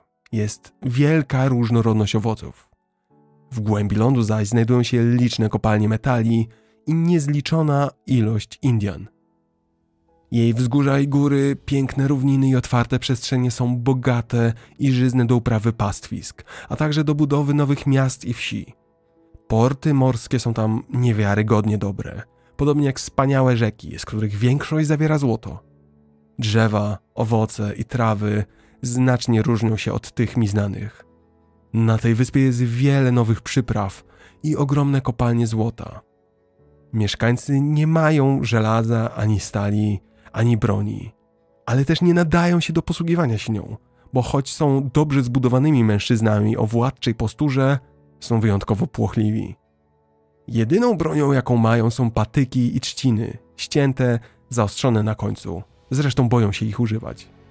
Często wysyłałem dwóch lub trzech ludzi na brzeg do jakiegoś miasta, aby z nimi porozmawiać, a tubylcy wychodzili najpierw w wielkiej liczbie, ale gdy tylko zobaczyli naszych ludzi, uciekali w popłochu bez zwłoki, choć chroniłem ich przed wszelką krzywdą. Ten list bardzo wiele pokazuje nam o tym, co było priorytetem dla Hiszpanów w Nowym Świecie. Jednocześnie też łatwo możemy sobie wyobrazić, jak takie opisy wpłynęły na Europejczyków, którzy czytali po raz pierwszy o Nowym Świecie. Nic dziwnego zatem, że w ciągu następnej dekady Kolumb odbył jeszcze trzy podróże, zakładając na wyspie Hispaniola pierwszą hiszpańską osadę. Wielu innych Europejczyków poszło w ślady Kolumba, przyciągniętych marzeniami o zdobyciu bogactwa dzięki żegludze na zachód. Inny Włoch, Amerigo Vespucci, żeglujący dla korony portugalskiej, zbadał wybrzeża Ameryki Południowej. Przeciwieństwie do Kolumba zdawał sobie sprawę, że obie Ameryki nie są częścią Azji, ale ziemiami nieznanymi Europejczykom. Szeroko publikowane relacje Vespucciego z jego relacji dalej napędzały spekulacje i zainteresowanie nowym światem wśród Europejczyków. W tym czasie narodziła się też nazwa Ameryka. Wśród bowiem tych, którzy czytali raporty Vespucciego, był niemiecki kartograf Martin Waldseemüller. Użył on imienia odkrywcy do oznaczenia nowego obszaru lądowego. Używając zatem Amerigo, Waldseemüller dołączył Amerykę do swojej mapy Nowego Świata w 1507 roku, a nazwa ta została do dziś. Wyprawa Kolumba przyspieszyła rywalizację między Hiszpanią a Portugalią, a obie potęgi walczyły o dominację poprzez zdobywanie coraz to nowszych ziem. Aby nie wchodzić sobie w drogę, wkrótce należało podzielić świat pomiędzy te dwie potęgi. 7 czerwca 1494 roku została zawarta umowa między Portugalią a Hiszpanią na zamku w Tordesillas, stąd nazwa Traktat z Tordesillas. Wszystkie obszary, które zostały odkryte podczas wypraw, zostały podzielone między tymi dwoma państwami. W efekcie Ameryka Środkowa i Południowa, z wyjątkiem Portugalski, Brazylii oraz Gujany, znalazły się ostatecznie we władaniu Imperium Hiszpańskiego. To wszystko otworzyło falę hiszpańskiej eksploracji. Zainspirowani opowieściami o rzekach złota i nieśmiałych, uległych tubylcach, późniejsi hiszpańscy odkrywcy byli nieugięci w poszukiwaniu ziem i złota. Nazywamy ich konkwistadorami. Sama nazwa konkwistador oznacza dosłownie zdobywca. Rycerze, żołnierze, misjonarze i odkrywcy żeglowali po świecie, otwierając nowe szlaki handlowe, zakładając hiszpańskie kolonie i odkrywając ziemie wcześniej w ogóle nieznane Europie. Ci mężczyźni mogli chcieć zdobyć majątek, poszukiwać przygód lub po prostu szukać nowego życia poza Hiszpanią. A jednym z tych konkwistadorów, tym, który zapisze się w historii wiecznymi zgłoskami, był Hernán Cortés. I oto właśnie Cortés staje na scenie naszego dzisiejszego odcinka. Poznajmy go zatem.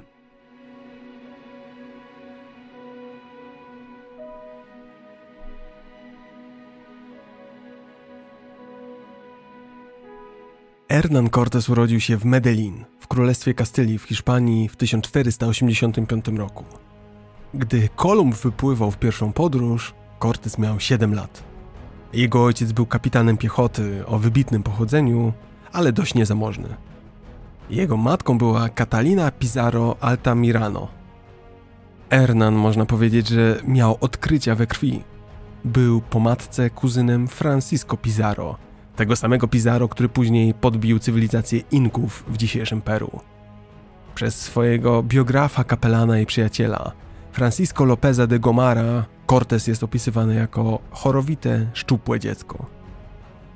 W wieku 14 lat Cortés został wysłany na studia na Uniwersytecie w Salamance. Był to wielki ośrodek nauk. Tam Cortés studiował prawo i łacinę, ale nie wysiedział tam długo po dwóch latach, zmęczony nauką, wrócił do domu w Medellin ku wielkiej irytacji swoich rodziców, którzy mieli nadzieję, że będzie on wyposażony już w narzędzia potrzebne do zyskownej kariery prawniczej. Cortés jednak nie chciał już być prawnikiem. Ale nauka prawa przyda mu się później. Dwa lata spędzone w Salamance, plus długi okres szkolenia i doświadczenia jako notariusz, najpierw w Sewilli, a później na Hispanioli, dadzą mu bliską znajomość kodeksów prawnych Kastylii, która to pomoże mu w prawnym uzasadnianiu jego późniejszych działań. Nie uprzedzajmy jednak faktów. W tym bowiem momencie Cortés miał 16 lat i był opisywany jako niespokojny, wyniosły i złośliwy. Myślę, że to adekwatny opis prawie pełnoletniego nastolatka, który oto właśnie wrócił do domu tylko po to, by stać się sfrustrowanym życiem, mieszkając w swoim małym, prowincjonalnym miasteczku. W tym czasie do Hiszpanii docierały wieści o ekscytujących wyprawach i odkryciach Kolumba w Nowym Świecie. Cortés i jego rodzina musieli zdawać sobie sprawę z potencjału, jaki może się kryć w tym miejscu dla młodego, żądnego przygód człowieka jak Hernan. W 1502 roku zatem wspólnie zaczęli planować, aby Cortés popłynął do obu Ameryk z przyjacielem rodziny, Nicolasem de Ovando. Jednak młody Hernan, że tak to ujmę, lubił cieszyć się życiem. I niestety kontuzja odniesiona podczas pośpiesznej ucieczki z sypialni zamężnej kobiety w Medellin uniemożliwiła dochodzącemu do zdrowia Cortesowi odbycie podróży. Zamiast tego spędził kolejny rok na wędrówce po rodzimym kraju. Wreszcie, w 1503 roku, w wieku 18 lat, Cortés popłynął w konwoju statków handlowych zmierzających do Santo Domingo, stolicy Hispanioli. Dotarł na Hispaniole na statku dowodzonym przez Alonso Quintero.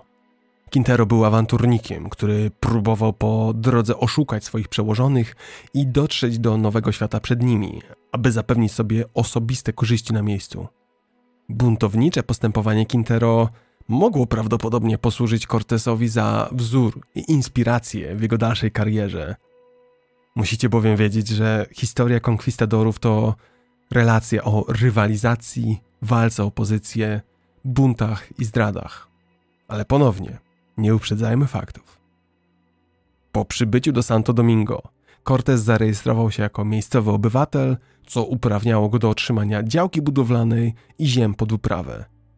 Wkrótce potem Ovando, jeszcze jako gubernator Hispanioli, dał mu repartimiento, czyli przydział Indian i uczynił go notariuszem miasta Azusa.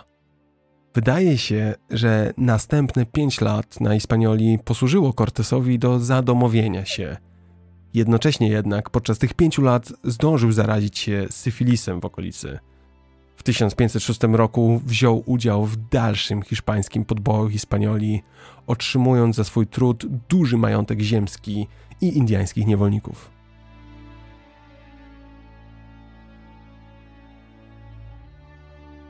Minęło pięć lat. W 1511 roku Cortés wyruszył z Diego Velázquez de Celuar na wyprawę na podbój Kuby. W wieku 26 lat Cortés został awansowany na urzędnika skarbnika. Jego obowiązkiem było pilnowanie, by król Hiszpanii otrzymywał jedną piątą zysków ze złota i niewolników. Gubernator Kuby był pod takim wrażeniem zdolności i ogłady Cortesa, że zapewnił mu wysokie stanowisko polityczne w kolonii. Cortés nadal budował reputację śmiałego i odważnego lidera. Wkrótce został mianowany burmistrzem Santiago. Na Kubie Cortés stał się człowiekiem ze znaczącym repartimiento Indian, kopalń i bydła. W 1514 przewodził grupie, która chciała podporządkować sobie jeszcze więcej tubylców. Z czasem jednak stosunki między ambitnym Cortesem a gubernatorem Velasquezem stały się napięte. Cortes był widocznie nienasycony, wiecznie niepokorny, a to stanowiło już problem, im wyżej piął się na szczeblach kariery. Nieraz nawet otwarcie krytykował rozkazy i jawnie podejmował swoje własne decyzje. Na jego szczęście dotychczas pomyślny dla Hiszpanii. Gubernator jednak za karę dwukrotnie uwięził młodego konkwistadora. Za każdym jednak razem Cortesowi udawało się uciec. Żądny przygód Cortez znalazł również czas na romans z Cataliną Juarez, szwagierką gubernatora Velasqueza.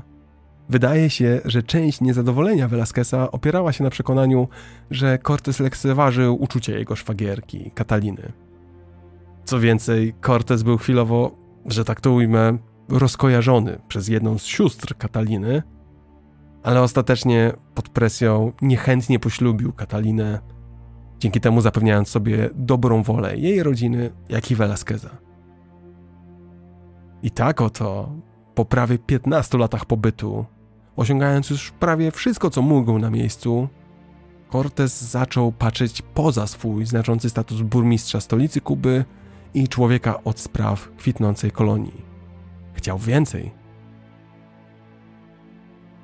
Hiszpański podbój świata trwał bowiem dalej. W 1517 roku kubański gubernator Diego Velázquez de Celuar zlecił flocie trzech statków pod dowództwem Hernandeza de Cordoby wypłynięcie na zachód i zbadanie półwyspu Yucatan. Był to półwysep w Ameryce Środkowej, oblany wodami Morza Karaibskiego i Zatoki Meksykańskiej. Była to też ziemia Majów. Cordoba dotarł do wybrzeża, a Majowie na przylądku Katocze zaprosili Hiszpanów do rozmowy. W nocy jednak Hiszpanie zostali zaatakowani przez wodza Majów. 20 Hiszpanów zostało zabitych na miejscu. Cordoba został śmiertelnie ranny i tylko resztki jego załogi cudem wróciły na Kubę. Niestety, ale takie wyprawy zawsze były obarczone bardzo dużym ryzykiem. Rok po nieudanej wyprawie Kordoby, gubernator zdecydował się zlecić kolejną wyprawę pod kierownictwem swojego bratanka, Juana de Grijalwy. Ekspedycja Grijalwy, składająca się z czterech statków, popłynęła na południe wzdłuż wybrzeża Yucatanu do tajemniczego regionu Tabasco, będącego częścią Imperium Azteków. Velasquezowi jednak bardzo śpieszyło się z odkrywaniem. Dlatego jeszcze zanim Grijalva wrócił na Kubę, Velasquez postanowił wysłać trzecią, jeszcze większą ekspedycję w celu zbadania wybrzeża dzisiejszego Meksyku. Cortés, który wówczas znowu był w łaskach Velasqueza, został mianowany dowódcą. A była to decyzja, która wywołała wiele zawiści i oburzenia wśród hiszpańskiego kontyngentu. Tym niemniej, w umowie podpisanej w październiku 1518 roku, Velázquez polecił Cortesowi poprowadzenie ekspedycji w celu, uwaga, wyłącznie nawiązania stosunków handlowych z rdzennymi plemionami przybrzeżnymi, wszystkimi, które mógłby potencjalnie spotkać. Cortes nie miał podbijać, nie miał również zakładać kolonii.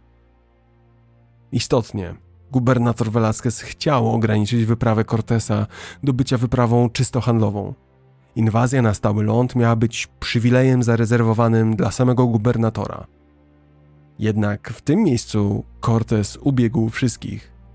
Znając tajniki prawa, opierając się na wiedzy, którą zdobył podczas studiów i wykorzystując swoją siłę perswazji, był w stanie, jak rasowy prawnik, wmanewrować gubernatora Velasqueza w umieszczenie w swoich rozkazach dodatkowej klauzuli. Tę klauzulę Cortés sam sformułował i choć brzmiała dość ogólnie, to była dla niego furtką do dowolnych niemal działań. Do rozkazu dopisano następujące słowa – podczas wyprawy zezwala się na podjęcie środków nadzwyczajnych bez wcześniejszej autoryzacji, jeśli takie środki zostaną uznane za będące w prawdziwym interesie Królestwa Hiszpanii. Dostrzegacie sami. Można to interpretować bardzo szeroko. Aczkolwiek Cortes przekonywał, że to tylko taki bezpiecznik na wypadek naprawdę nieprzewidzianych zdarzeń na miejscu. Postrzegając ten moment jako swoją życiową szansę, Cortes przystąpił do przedsięwzięcia z zapałem i energią. Nie zamierzał wracać, dopóki los nie rzuci mu czegoś, co faktycznie będzie w prawdziwym interesie królestwa i co pozwoli mu wspiąć się o wiele wyżej w hierarchii i sławie. Pośpiesznie zatem zaczął gromadzić flotę składającą się z 11 statków i siły dobrze uzbrojonych ludzi. I tutaj zaczyna się nasza przygoda. Cortez poszedł na całość. Zainwestował znaczną część swojej osobistej fortuny, aby wyposażyć wyprawę. Gdy zaś jego pieniądze się skończyły, upłynnił dużą część swojego majątku i potężnie zadłużył się, aby pożyczyć dodatkowe fundusze. Sam gubernator Velasquez osobiście wniósł prawie połowę kosztów wyprawy. Ogromna skala tego przedsięwzięcia jeszcze bardziej wzmogła zazdrość i niechęć reszty hiszpańskiego kontyngentu na Kubie, który doskonale zdawał sobie sprawę z możliwości zdobycia sławy, fortuny i chwały, jakie dawało to zadanie.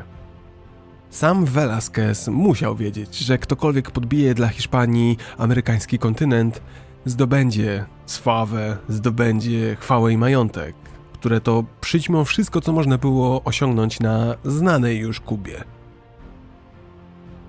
Dlatego też, gdy przygotowania do wyprawy zbliżały się już ku końcowi, gubernator nabrał podejrzeń, że Cortés okaże jednak się nielojalny i spróbuje wykorzystać wyprawę do własnych celów, do ustanowienia siebie gubernatorem nowych ziem, niezależnym już od kontroli Velasqueza. Z tego powodu Velasquez zmienił zdanie i wysłał Luisa de Medina z rozkazem zastąpienia Corteza. Jednak szwagier Corteza ubiegł gubernatora, kazał przechwycić i zabić Medinę. Dokumenty, które Medina miał przy sobie, zostały wysłane do Corteza. Ostrzeżony w ten sposób jeszcze bardziej przyspieszył organizację i przygotowania do swojej wyprawy. Był gotów do wypłynięcia rankiem 18 lutego 1519 roku, kiedy to tragedia. Do doku przybył osobiście sam Velasquez, zdecydowany bezpośrednio odwołać wyprawy Corteza. Jednak Hernán Cortés, twierdząc, że czas nagli, po prostu zignorował stojącego obok gubernatora i pośpiesznie wyruszył w drogę, zostawiając go na brzegu w niemałym szoku. Tym samym Cortés rozpoczął podbój Meksyku z prawnym statusem hiszpańskiego buntownika. Kosztowny i pośpiesznie zebrany kontyngent Corteza składał się z 11 statków przewożących około 100 marynarzy, 530 żołnierzy, lekarza, kilku stolarzy, co najmniej 8 kobiet, kilkuset kubańskich Indian, kilku Afrykanów, zarówno wyzwolonych, jak i niewolników. Nie wzięto koni, planowano je pozyskać na miejscu.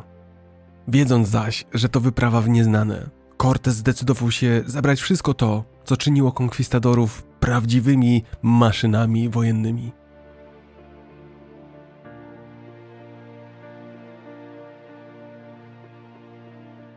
Istniały dwa rodzaje hiszpańskich konkwistadorów: kawaleria i piechota. W bitwach podbojów przeważnie dokonywała kawaleria. Kiedy dzielono łupy, kawalerzyści otrzymywali znacznie większą część skarbów niż piechurzy. Niektórzy hiszpańscy żołnierze długo oszczędzali i kupowali konia jako rodzaj inwestycji, która miała się zwrócić w przyszłych podbojach. Jeźdźcy mieli dwa rodzaje broni: lance i miecze. Ich lance były długimi drewnianymi włóczniami z żelaznymi lub stalowymi grotami na końcach, używanymi z wierzchu konia do atakowania piechurów szturmem. W walce wręcz jeździec często używał swojego miecza. Stalowe hiszpańskie miecze z czasów podboju miały około metra długości i były stosunkowo wąskie, bardzo ostre po obu stronach. Hiszpańskie miasto Toledo było znane jako jedno z najlepszych miejsc na świecie do produkcji broni i zbroi, a dobry miecz z Toledo był naprawdę cenną bronią. Precyzyjnie wykonana broń nie przechodziła kontroli, dopóki nie mogła bez pęknięcia zgiąć się w półokrąg i przetrwać uderzenia z pełną siłą w metalowy hełm. Długo hartowany, szlachetny hiszpański stalowy miecz był takim atutem, że przez jakiś czas po podboju posiadanie go przez rdzennych mieszkańców było zakazane prawem. Wyćwiczony hiszpański piechur mógł w ciągu kilku minut ściąć dziesiątki rdzennych mieszkańców z pomocą tego zabójczego toledańskiego ostrza. Ale hiszpańscy piechurzy również mieli się czym posłużyć. Wielu ludzi błędnie myśli, że to broń palna skazała na zagładę rdzennych mieszkańców Nowego Świata. Tak jednak nie jest. Niektórzy hiszpańscy żołnierze rzeczywiście używali arkebuzów – rodzaju współczesnego muszkietu. Arkebus był niezaprzeczalnie skuteczny w walce z każdym przeciwnikiem, ale wolno się go ładuje, jest ciężki, a odpalenie go to czasochłonny, skomplikowany proces. Arkebuzy były najbardziej skuteczne w terroryzowaniu rdzennych żołnierzy, którzy myśleli, że huk wystrzału oznacza, że Hiszpanie boską mocą potrafią wywoływać grzmoty. Podobnie jak arkebus, kusza była europejską bronią projektowaną do pokonywania opancerzonych celów, a tym samym zbyt nieporęczną i kłopotliwą, by przydała się w podboju przeciwko lekko opancerzonym, szybkim tubylcom. Czasem faktycznie używano kurz, ale są one bardzo powolne w ładowaniu, łatwo się psują, a ich użycie nie było zbyt powszechne, przynajmniej w początkowych fazach podboju. Hiszpańska zbroja, w większości wykonana również w Toledo, należała do najlepszych w ówczesnym świecie. Zakuci od stóp do głów w metalową skorupę, hiszpańscy konfistadorzy byli praktycznie nie do pokonania w starciu z tubylczymi przeciwnikami. W Europie opancerzony rycerz dominował na polu bitwy od wieków, a rdzenni mieszkańcy nie mieli broni zdolnej przebijać pancerze, dlatego zabili w bitwie bardzo niewielu opancerzonych Hiszpanów. Większość konkwistadorów nosiła pełny zestaw zbroi, który zakrywał całe ciało. Nawet części, takie jak łokcie i ramiona, które wymagają przecież ruchu, były chronione przez serię nakładających się na siebie płyt. Co oznacza, że było bardzo mało wrażliwych miejsc u w pełni opancerzonego konkwistadora. Pełny kombinezon metalowej zbroi ważył około 30 kg, a ciężar był dobrze rozłożony na ciele, co pozwalało na noszenie go przez długie okresy czasu bez powodowania większego zmęczenia. W późniejszym okresie podboju jednak, kiedy to konkwistadorzy zdali sobie sprawę, że pełne zbroje są w Nowym Świecie zbyteczne, niektórzy przerzucili się na przykład na kolczugi, które były równie skuteczne. Niektórzy nawet całkowicie porzucili metalowe zbroje, nosząc esquapil, rodzaj skórzanej albo płóciennej zbroi. Hełmem najczęściej kojarzonym z konkwistadorami był morion, ciężki stalowy hełm ze stalowym, cienkim grzebieniem na szczycie. Niektórzy piechurzy preferowali saladę, hełm z zakrytą pełną twarzą, przypominający nieco stalową maskę narciarską. Hełm typu kabaset był najprostszy. Była to duża, stalowa czapka, która zakrywa głowę od uszu w górę. Duże, ciężkie tarcze nie były konieczne przy podboju, choć wielu konkwistadorów używało puklerzy, małej, okrągłej czy też owalnej tarczy, zwykle z drewna lub metalu pokrytego skórą. Dobrze zatem, skoro jesteśmy już wyposażeni i uzbrojeni, możemy bezpiecznie kontynuować naszą podróż.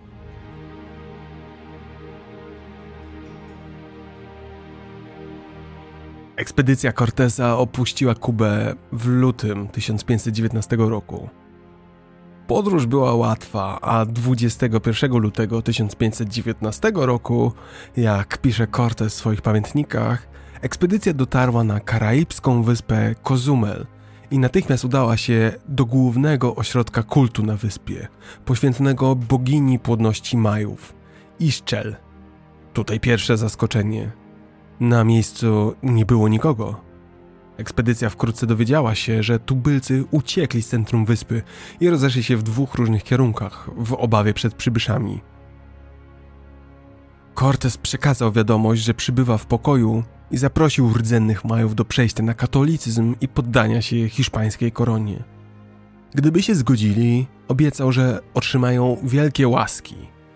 Ponieważ jednak odpowiedzią było milczenie, a czas mijał, Zniecierpliwiony Cortes podzielił swoją armię na trzy grupy, trzymając przy sobie straż liczącą 200 ludzi, podczas gdy jego dwóm kapitanom przydzielono po setkę ludzi, którzy mieli udać się na oba krańce wyspy, by rozmawiać z przywódcami Majów i obdarzyć ich darami oraz obietnicą poszanowania ich życia. Po raz kolejny obiecano też przywódcom Majów, że wizyta Corteza jest pełna dobrych intencji i powiedziano, że przybysze nie ruszą się jednocześnie z miejsca, dopóki nie porozmawiają z przywództwem. Dwa dni później wódz zjawił się, by porozmawiać z naszym konkwistadorem. Cortez przekonał go, aby wszyscy jego ludzie wrócili do swoich domów i powrócili do codziennych obowiązków, ale też aby obiecali wierność i uznali, że Hiszpanii są ich nowymi panami. Po sukcesie tych negocjacji zmieniono nazwę Cozumel na Santa Cruz, czyli Święty Krzyż. Podczas pobytu na Cozumel Cortes usłyszał raporty o innych białych mężczyznach żyjących na Yucatanie z Miami.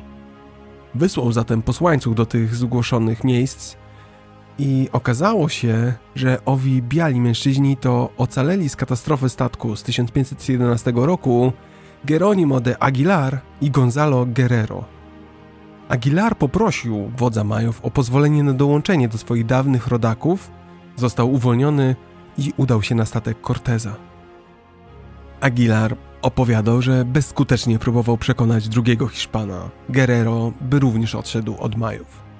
Guerrero odmówił, ponieważ był już dobrze zasymilowany z kulturą Majów, miał żonę Majkę i trójkę dzieci, a w osadzie, w której mieszkał, był już postrzegany jako osoba o wysokim statusie. Choć późniejsze losy Guerrero są niepewne, to wydaje się, że przez kilka lat walczył u boku Majów przeciwko hiszpańskim najazdom, udzielał im rad wojskowych i zachęcał do oporu. Najprawdopodobniej zginął w jednej z późniejszych bitew. Aguilar tymczasem, znając język Majów, okazał się cennym nabytkiem Corteza jako tłumacz. Ostatecznie wyspa Cozumel posłużyła Cortezowi jako pole doświadczalne dla przyszłych kroków i podbojów. Połączył tam zastraszenie z dyplomacją, a nacisk polityczny i militarny z polityką licznych małych darów i ostatecznie osiągnął swój cel przekonał tubylców na swoją stronę. Zauważcie, że w tym pierwszym spotkaniu nie było przemocy. Faktycznie, była presja i straszenie, ale nikt nie zginął. Trzymajcie kciuki, aby tak zostało dalej.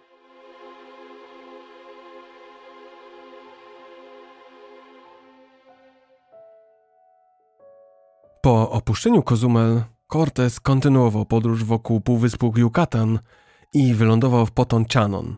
Tam poznał kobietę, którą nazwał Dona Marina. Jest ona częściej znana jako Malinche.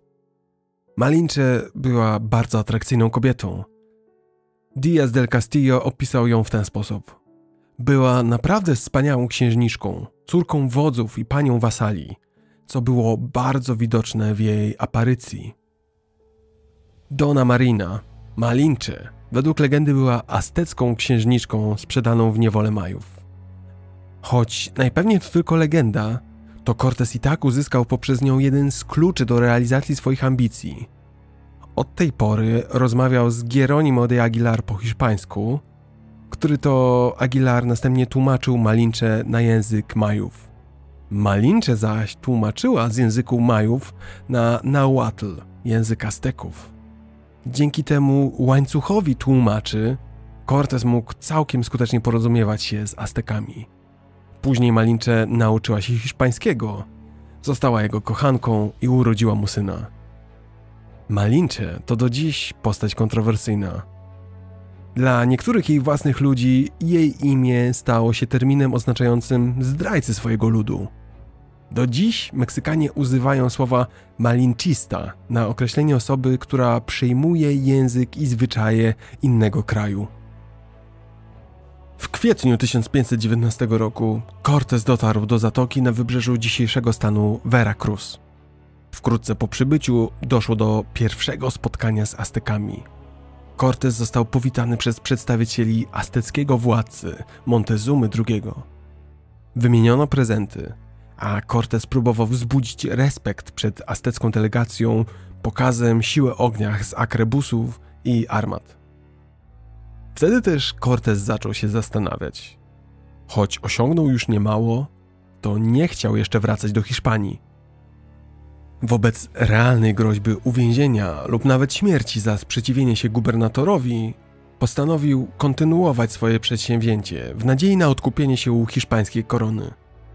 W tym celu nakazał swoim ludziom założyć osadę zwaną La Villa Rica de la Veracruz. Wkrótce dowiedział się o tubylczej osadzie zwanej Kempoala i pomaszerował tam ze swoimi siłami. Kempoala zamieszkana była przez Totonaków, jeden z wielu ludów indiańskich w dzisiejszym Meksyku. Obszar zamieszkany przez Totonaków został podporządkowany przez Azteków w połowie XV wieku. Po przybyciu do Kempoala Corteza powitało 20 dostojników i wielu wiwatujących mieszkańców. Cortez szybko przekonał wodza Totonaków, Xicomecoatla, do buntu przeciwko Aztekom. Jak wspomniałem, imperium Azteków składało się z szeregu takich oddolnych księstewek. Zbuntowani Totonakowie od razu wzięli do niewoli pięciu azteckich poborców podatkowych, jednak chwilę potem Cortez nakazał ich osobiście uwolnić i odesłać do Montezumy. Totonakowie pomogli Cortezowi budować całe miasto La Villa Rica de la Vera Cruz, które było punktem wyjścia do jego prób podbicia Imperium Azteków. Ta osada rozrosła się w miasto znane obecnie jako Vera Cruz, czyli prawdziwy krzyż. Dziś Veracruz to główny port, jedno z najważniejszych miast stanu Veracruz, położona na meksykańskim wybrzeżu Zatoki Meksykańskiej. Liczy dziś prawie pół miliona obywateli, a wszystko zaczęło się od Corteza i garstki konkwistadorów. W odpowiedzi na totonacką rebelię, kolejni ambasadorzy azteckiego władcy powracali do Corteza, niosąc mu dary złota i tkanin, w podzięce za uwolnienie poborców podatkowych. Montezuma przekazał również przez posłańca Cortezowi, że jest pewien, że Hiszpanie są z jego własnego ludu i przybyli tak, jak przepowiadali to przodkowie. To właśnie wtedy Cortez po raz pierwszy dostrzegł, że Aztekowie uważają Hiszpanów za istoty boskie. Nawet źródła azteckie podają, że widziano wówczas z daleka wieże lub małe góry unoszące się od strony morza, gdy tylko zbliżali się Hiszpanie. Montezuma szczerze wierzył, że przepowiedziane azteckie bóstwo przybyło właśnie na ziemię Wielkiego Imperium. Gdyby tylko wiedział, na jaki los właśnie skazuje swoich poddanych.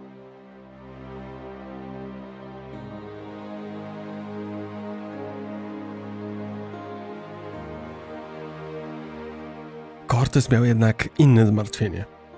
W międzyczasie pojawiło się wewnętrzne zagrożenie buntem. Ci z ludzi Corteza, którzy wciąż byli lojalni wobec gubernatora Kuby, spiskowali, by przejąć statek i uciec na Kubę. Cortez szybko pokrzyżował ich plany. Aby upewnić się, że nie będzie musiał martwić się buntem w przyszłości, postanowił zatopić swoje statki pod pretekstem, że nie nadają się już do żeglugi. Jako, że wszystkie jego statki, z wyjątkiem jednego małego, komunikacyjnego, zostały zatopione, Cortez skutecznie unieruchomił ekspedycję w Meksyku i jednocześnie uciął wszelkie myśli o lojalności wobec gubernatora Kuby. Jedyną drogą dla konkwistadorów pozostawała ta naprzód. Cortez prowadził swój zespół w głąb lądu, w kierunku słynnego Tenochtitlan, Oprócz Hiszpanów szło teraz z nim 40 wojowniczych wodzów Campo Alan i 200 innych tubylców, których zadaniem było ciągnięcie armat i niesienie zapasów. Campo Alańczycy byli przyzwyczajeni do gorącego klimatu wybrzeża, ale bardzo cierpieli z powodu chłodu gór, deszczu i gradu, gdy maszerowali w kierunku Tenochtitlan. Wkrótce po kilometrach naprawdę ciężkiego marszu Cortez dotarł do Tlaxcali, konfederacji około 200 miast bez centralnego rządu. Ich głównym miastem była sama Tlaxcala. Mieszkańcy Tlaxcali również mieli na pięku z Aztekami. Po prawie stuletnich wojnach między tymi dwoma ludami narosła ogromna nienawiść i gorycz. Aztekowie podbili znaczną część terytorium wokół Tlaxcali – Możliwe, że pozostawili samą Tlaszkalę niezależną, aby mieć stały dopływ jeńców wojennych, których następnie składali w ofierze swoim bogom. Tlaszkaltecy być może stąd nie byli zbyt gościnni. Początkowo przywitali Hiszpanów wrogo i obie strony stoczyły we wrześniu 1519 roku serię starć. I tak oto doczekaliśmy się pierwszych bitew i przemocy. A skoro już przy tym jesteśmy, to wspominałem o wyposażeniu konkwistadorów, ale rdzenne kultury Ameryki również wykształciły swoje sposoby walki i ochrony, zupełnie odmienne od tych europejskich. Niestety nie było to równe starcie.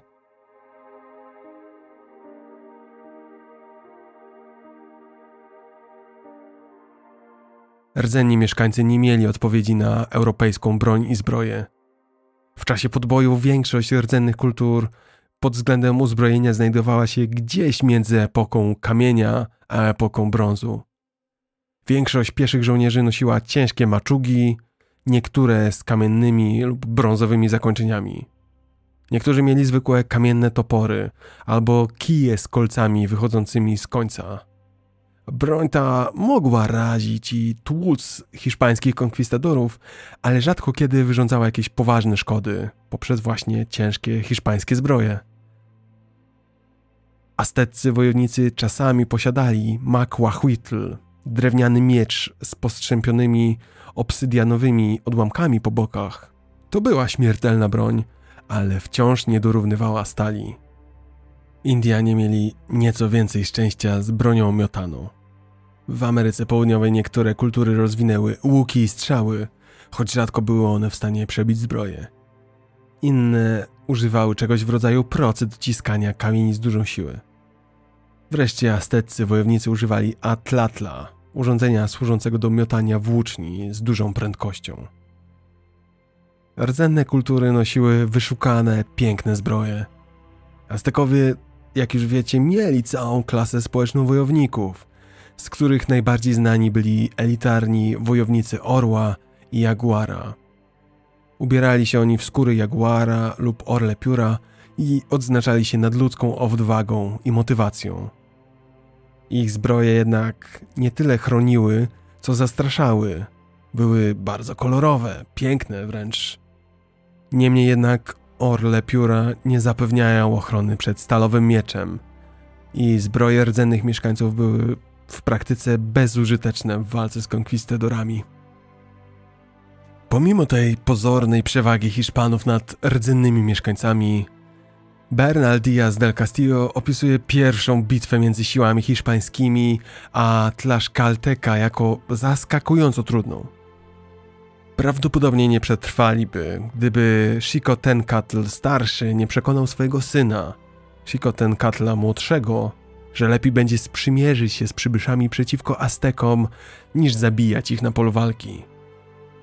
18 września 1519 roku Cortés przybył zatem do Tlaszkali i został powitany z wielką radością przez władców. Widzieli oni w sichilnych Hiszpanach możliwego sojusznika przeciwko Aztekom. Z powodu blokady handlowej ze strony Azteków, Tlaszkala była biedna. Brakowało w niej zarówno soli, jak i bawełnianego sukna, więc mogli zaoferować Cortezowi i jego ludziom tylko jedzenie. Cortez przebywał w Tlaszkali 20 dni, to właśnie tam po raz pierwszy docenił sposób życia mieszkańców Mezoameryki. To tam w istocie zaczął poznawać ich kulturę. Wydaje się, że Cortez zdobył prawdziwą przyjaźń starych przywódców Tlaszkali. Ciągle jednak nie mógł zdobyć zaufania Xicotencatla młodszego. Hiszpanie zgodzili się uszanować część miasta, jak na przykład świątynię, i wzięli tylko to, co zostało im ofiarowane dobrowolnie. W międzyczasie Cortez opowiadał władcom o korzyściach płynących z chrześcijaństwa. Zapisy mówią, że przekonał do przyjęcia chrztu czterech przywódców Tlaszkali. Po chrzcie otrzymali oni nowe imiona: Don Lorenzo, Don Vincente, Don Bartolome i Don Gonzalo. Z dzisiejszej perspektywy trudno stwierdzić, czy rozumieli oni wiarę katolicką. W każdym razie nie mieli problemów z dodaniem nowego Boga, chrześcijańskiego Pana Niebios, do swojego już bardzo rozbudowanego panteonu bogów. Dokonano ponadto wymiany darów i w ten sposób rozpoczął się sojusz między Cortezem a Tlaszkalą.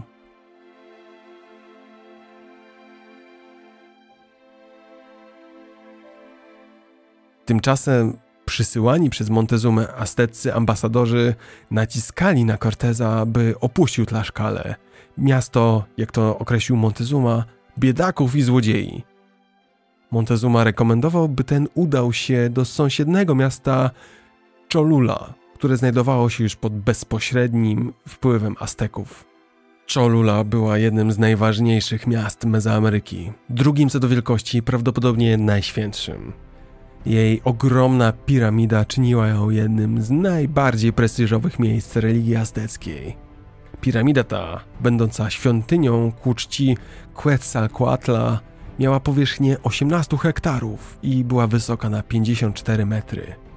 Jej objętość szacuje się na 3 miliony metrów sześciennych, a dla przykładu piramida Cheopsa ma objętość 2,5 miliona metrów sześciennych.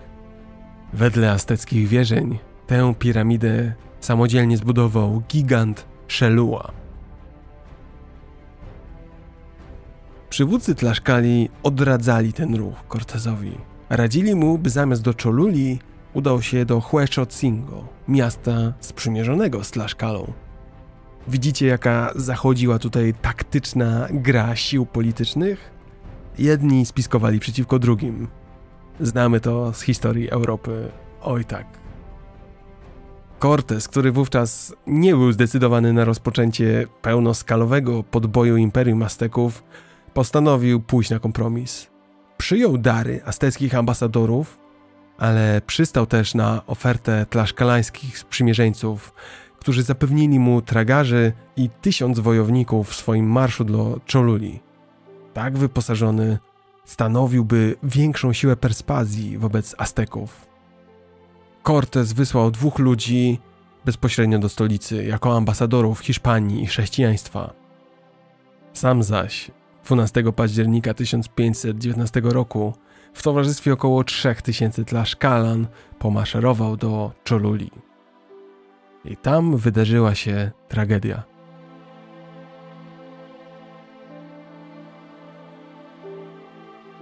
Są sprzeczne relacje na temat tego, co wydarzyło się po tym, jak Cortez dotarł do Choluli. Montezuma najwyraźniej zdecydował się odeprzeć siłą natarcie Corteza i jego wojsk. Wydaje się, że rozkazał przywódcom Choluli, by spróbowali powstrzymać Hiszpanów. Cholula miała bardzo małą armię, ponieważ jako święte miasto pokładali zaufanie w swoim prestiżu i w swoich bogach. Według kronik, kapłani z Choluli zamierzali wykorzystać moc Quetzalcoatla, głównego boga, przeciwko najeźdźcom. Cortes i jego ludzie wkroczyli do Choluli bez żadnego oporu.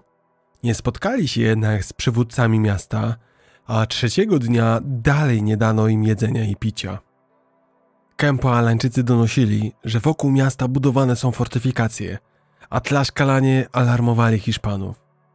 Wreszcie La Malinche poinformowała Corteza po rozmowie z żoną jednego z panów z Choluli, że miejscowi planują wymordować Hiszpanów we śnie. Choć Cortez nie wiedział, czy to plotka, czy też prawda, zarządził uderzenie wyprzedzające. Skonfrontował przywódców miasta w głównej świątyni i wprost zarzucił im, że planują atak na jego ludzi. Ci przyznali, że otrzymali rozkaz stawienia oporu od Montezumy, ale stwierdzili, że nie zamierzali wykonywać jego rozkazów. Co było dalej, wiem z listów Corteza do króla Hiszpanii. W ciągu trzech godzin hiszpańskie wojska, wspomagane przez Tlaszkalan, zabiły 3000 ludzi i spaliły całe miasto. Jeden ze świadków, Vasquez de Tapia, stwierdził, że żniwo śmierci wynosiło aż 30 tysięcy. Bardzo mało prawdopodobne, że tak wiele osób zostało zabitych, gdyż kobiety i dzieci oraz wielu mężczyzn zdążyło uciec z miasta. Niezależnie jednak od tego, masakra Choluli była głośnym rozdziałem w podboju Meksyku. Miała też mrożący krew w żyłach wpływ na pozostałe państwa miasta i grupy powiązane z Aztekami, jak również na samych Azteków. Opowieści o masakrze przekonały inne miasta do poważnego rozważenia wszystkich propozycji Corteza, byleby tylko nie ryzykować tego samego losu. Gdy krew przestała się lać, Cortez wysłał do Montezumy emisariuszy z wiadomością, że mieszkańcy Choluli potraktowali go podstępnie i dlatego zostali ukarani. I tak samo karani będą wszyscy, którzy poważą się na takie postępy jak Montezuma. W jednej ze swoich odpowiedzi do Corteza Montezuma obwinił dowódców lokalnego garnizonu za próbę oporu. Montezuma faktycznie miał tragiczny dylemat. Widząc, że długotrwałe próby odwodzenia Corteza od przybycia do Tenochtitlan poprzez przesyłanie złota nie powiodły się, w końcu zdecydował się zaprosić konkwistadorów do odwiedzenia swojej stolicy. Aztecki wódz poczuł, że nic innego nie może już zrobić.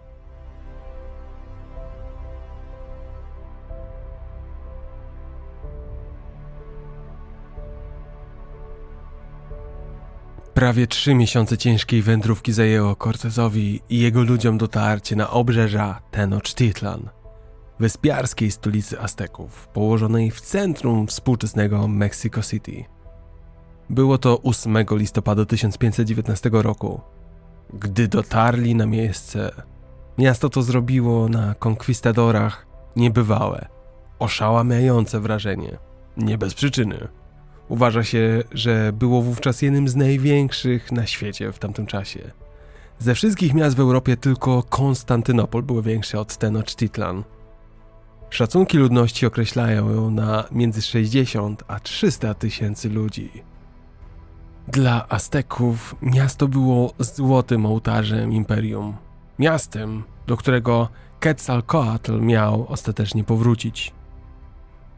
Według kronik azteckich Montezuma powitał Corteza z wielką pompą. On i jego wodzowie byli przyozdobieni mieniącym się złotem na ramionach, piórami i klejnotami. Na grobli, gdzie spotkały się obie grupy, ogromne rzesze mieszkańców Tenochtitlan obserwowały wymianę uprzejmości, a było co obserwować. Montezuma podszedł przywitać Corteza, Cortez szedł ze swoimi dowódcami i próbował objąć Montezumę, ale został powstrzymany przez brata i bratanka Montezumy. Zgodnie z prawem, nikomu nie wolno było nawet dotknąć władcy Azteków. Po powitaniach Montezuma ubrał Corteza w naszyjnik z piór i złota oraz girlandę z kwiatów z jego własnego ogrodu. Był to najwyższy zaszczyt, jaki Montezuma mógł oddać. Dar kolorowego owocu ziemi. Niestety zapewne Cortez nie zrozumiał znaczenia tego gestu. Montezuma przeprowadził następnie Corteza do sanktuarium bogini Toki, gdzie przekazał mu bardziej prywatne pozdrowienie. Pozdrowienie, w którym praktycznie oddał imperium azteckie Cortezowi, którego uważał za boga. Oto fragment tego pozdrowienia Montezumy. Mój panie, wreszcie przybyłeś zmęczony do twojej ziemi. Przybyłeś do twojego miasta, aby zasiąść na swoim miejscu, na swoim tronie. Och, zostało ono zarezerwowane dla ciebie na długi czas, zachowane przez tych, którzy odeszli, twoich następców. To właśnie zostało opowiedziane przez naszych przodków, tych, którzy rządzili tym miastem, że przyjdziesz prosić o swój tron, o swoje miejsce, że przyjdziesz do ziemi, przyjdziesz i odpoczniesz. Weź zatem w posiadanie twój królewski dom. Daj pożywienie swojemu ciału. Dla Montezumy osobiste spotykanie się z kimkolwiek, a tym bardziej z kimś obcym było naprawdę bezprecedensowym wydarzeniem. Na przykład, kiedy Montezuma jadł posiłek, robił to za parawanem, aby osłonić się przed wzrokiem nawet dworu i służby. Tym przypadku jednak Montezuma nakazał przygotować dla Corteza pałac królewski swojego ojca. Tego samego dnia Montezuma przyszedł ponownie odwiedzić Corteza i jego ludzi. Najpierw powtórzył swoje wcześniejsze kwieciste powitanie, ale następnie wyjaśnił swój pogląd na to, co hiszpańska ekspedycja reprezentowała dla Azteków. Stwierdził, że Cortés i jego ludzie, bladzi, brudaci mężczyźni ze wschodu, byli powrotem postaci z azteckich legend. Na koniec tego Montezuma przyrzekł lojalność wobec króla Hiszpanii i zaakceptował Corteza jako przedstawiciela owego króla. Według Diaza Montezuma powiedział do Corteza: Jestem dłużnikiem waszego króla, oddam mu wszystko, co posiadam. W pałacu konkwistadorzy tymczasem odkryli tajne, ogromne pomieszczenie, w którym Montezuma przechowywał skarb, który odziedziczył po swoim ojcu. Ten skarb składał się z niezliczonych ilości złotych przedmiotów klejnotów, płytek, sztabek. Diaz napisał: Widok całego tego gigantycznego bogactwa wręcz nas onieśmielił. Tymczasem Cortez poprosił Montezumę, aby ten pozwolił mu wznieść na szczycie piramidy głównej świątyni krzyż i wizerunek Matki Boskiej, które to znajdowałyby się obok stojących tam dwóch bożków. Rozścieczyło to Montezumę i jego kapłanów. Powiedzieli oni, że nie mogą zgodzić się na skalanie tego świętego miejsca, albowiem to azteccy bogowie dają zdrowie i deszcz, plony i pogodę oraz wszelkie zwycięstwa.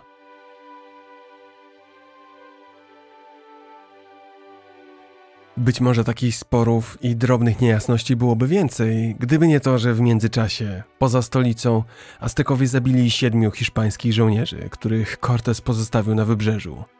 Gdy doniesiono o tym Cortezowi, wraz z pięcioma swoimi kapitanami oraz La Malinche, powiedział Montezumie, by udał się z nimi po cichu do kwatery i nie protestował, a jeśli będzie krzyczał albo wywoływał zamieszanie, zostanie natychmiast zabity. I tak oto wielki Montezuma został więźniem, zakładnikiem Hiszpanów. Zgodził się na to, obawiając się buntu w swoim mieście albo tego, że Hiszpanie mogą zastąpić go innym władcą. Taki zgniły kompromis według Montezumy był lepszy, pomimo że wodzowie, siostrzeńcy i krewni Montezumy sugerowali, że należy raczej zaatakować Hiszpanów.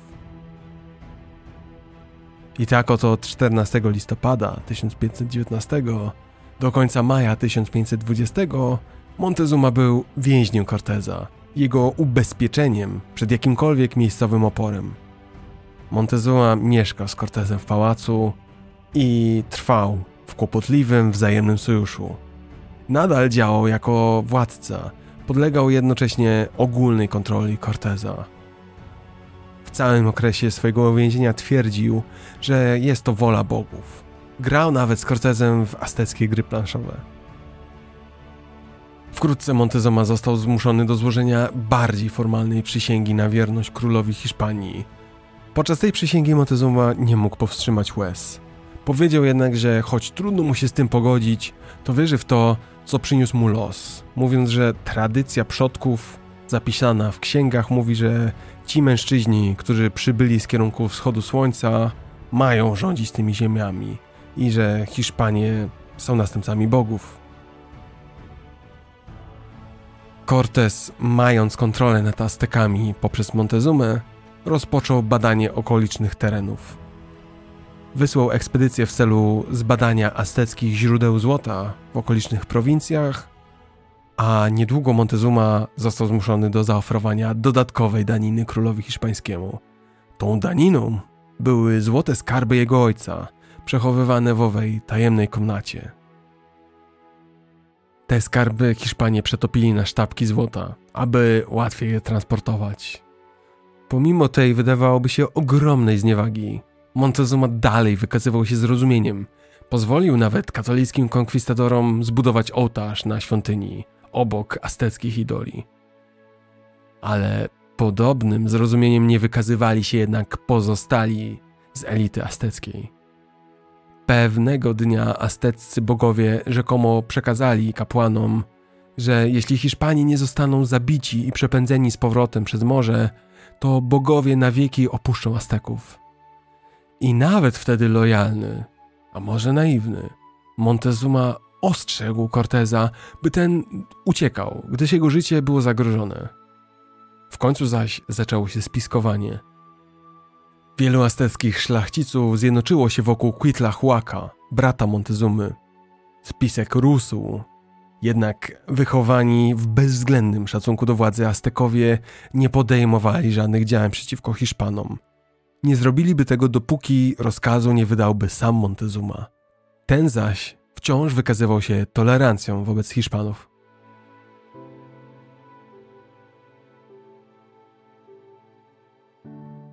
Choć pokój w stolicy Azteków wisiał już na włosku, Cortez miał inne zmartwienia.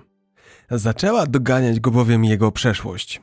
W tym samym czasie otrzymał bowiem z wybrzeża wiadomość o przybyciu znacznej partii Hiszpanów pod dowództwem Panfilo de Narveza. Narvez został wysłany przez gubernatora Velasqueza nie tylko po to, by zastąpić Corteza, ale by go aresztować i postawić przed sądem za niesubordynację, bunt i zdradę. Odpowiedź Corteza była prawdopodobnie jedną z najbardziej śmiałych spośród jego licznych wyczynów. Niektórzy opisują ją jako całkowicie lekkomyślną, ale tak naprawdę Cortez niewiele miał innych opcji. Jeśli zostałby aresztowany i skazany, zostałby najpewniej stracony. Postanowił zatem po prostu zaatakować Narweza i zniszczyć jego siły, aby nikt nie mógł przeszkodzić mu w dalszym podboju. Pozostawiając w stolicy tylko 140 ludzi pod dowództwem Pedra de Alvarado, Cortez wyruszył przeciwko Narwezowi. Narwez przybył z prawie tysiącem żołnierzy, podczas gdy Cortez miał tylko 260. Aby zniwelować różnicę sił, wykorzystał zaskoczenie.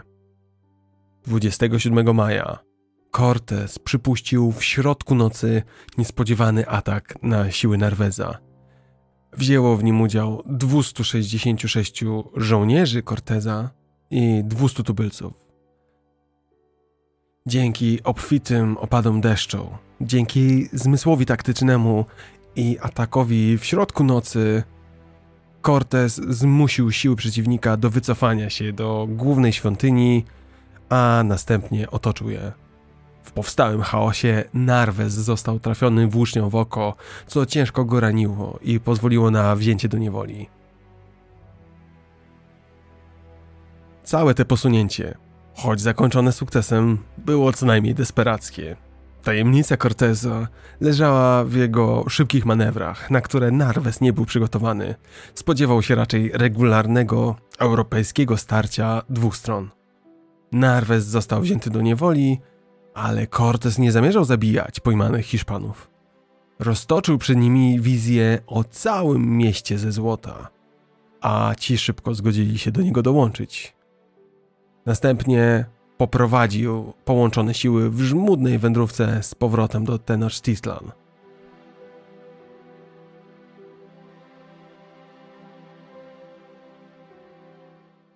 To jednak nie koniec niespodzianek. Kiedy Cortez wrócił do miasta, odkrył, że Alvarado i jego ludzie, których zostawił na straży azteckiej stolicy, zaatakowali i zabili wielu Azteków podczas lokalnego festiwalu. Alvarado tłumaczył, że dowiedział się, że Aztekowie planują zaatakować hiszpański garnizon po zakończeniu festiwalu, a więc rozpoczął atak wyprzedzający. Nie trudno mu się dziwić, taką strategię znał dobrze od Corteza.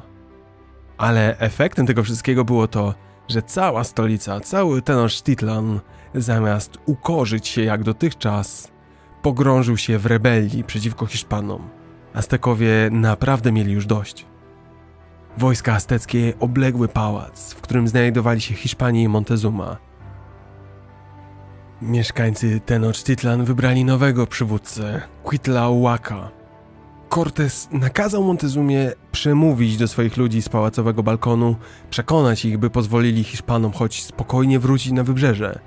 Montezuma nie miał już jednak posłuchu. Został wybuczany, obrzucono go kamieniami, ciężko go raniąc.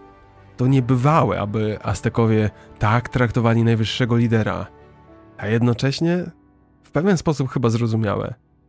Montezuma w ich oczach stał się słaby, a lider Azteków nie mógł być słaby. Ciężko ranny Montezuma zmarł kilka dni później. Po jego śmierci Quitlahuac został wybrany na nowego azteckiego Tlatoani a to oznaczało kłopoty. Z martwym Montezumą, a jednocześnie nowym władcą Azteków, który miał jeden cel zabić Hiszpanów, Cortez wiedział, że jest w krytycznej sytuacji.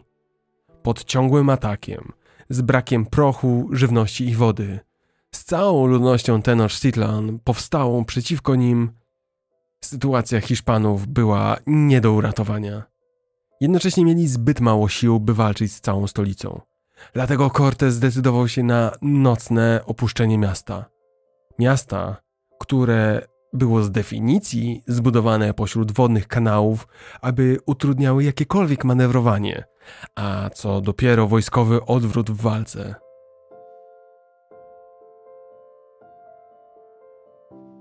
Uciekajmy zatem z Tenochtitlan. Konkwistadorzy zabrali ze sobą całe złoto, jakie mogli unieść.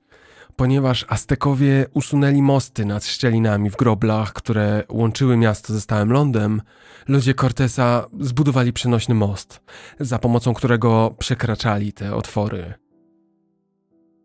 W deszczową noc 1 lipca 1520 roku Hiszpanie i ich sojusznicy rozpoczęli odwrót na stały ląd.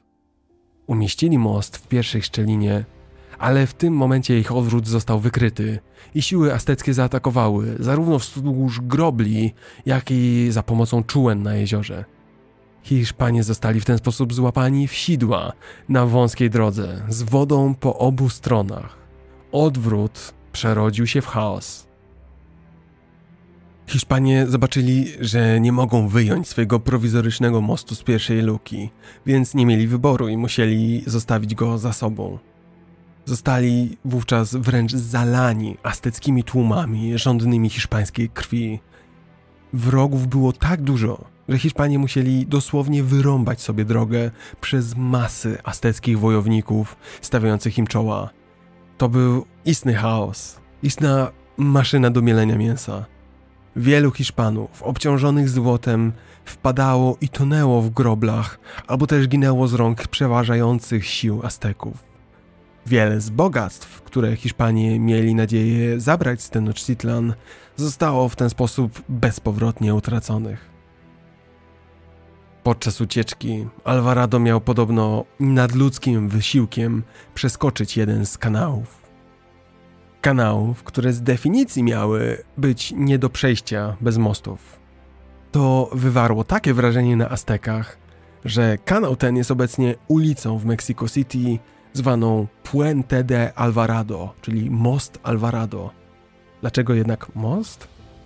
Ponieważ wyglądało, jakby Alvarado przekroczył niewidzialny most, byle tylko by uciec. Hiszpanie ponosili ogromne straty. Stracili ponad 600 swoich i kilka tysięcy skalańskich wojowników. 270 Hiszpanów stacjonujących w innej części miasta po ucieczce Corteza zostało pojmanych i poświęconych w ofierze azteckim bogom. Podobno Cortez po dotarciu na stałe ląd w Tlacopan wiele godzin płakał i rozpaczał. Ten epizod historii nazywany jest La Noche Triste, czyli smutna noc, a stare drzewo El Arbol de la Noche Triste, pod którym Cortez rzekomo płakał, do dziś jest pomnikiem przyrody w Meksyku.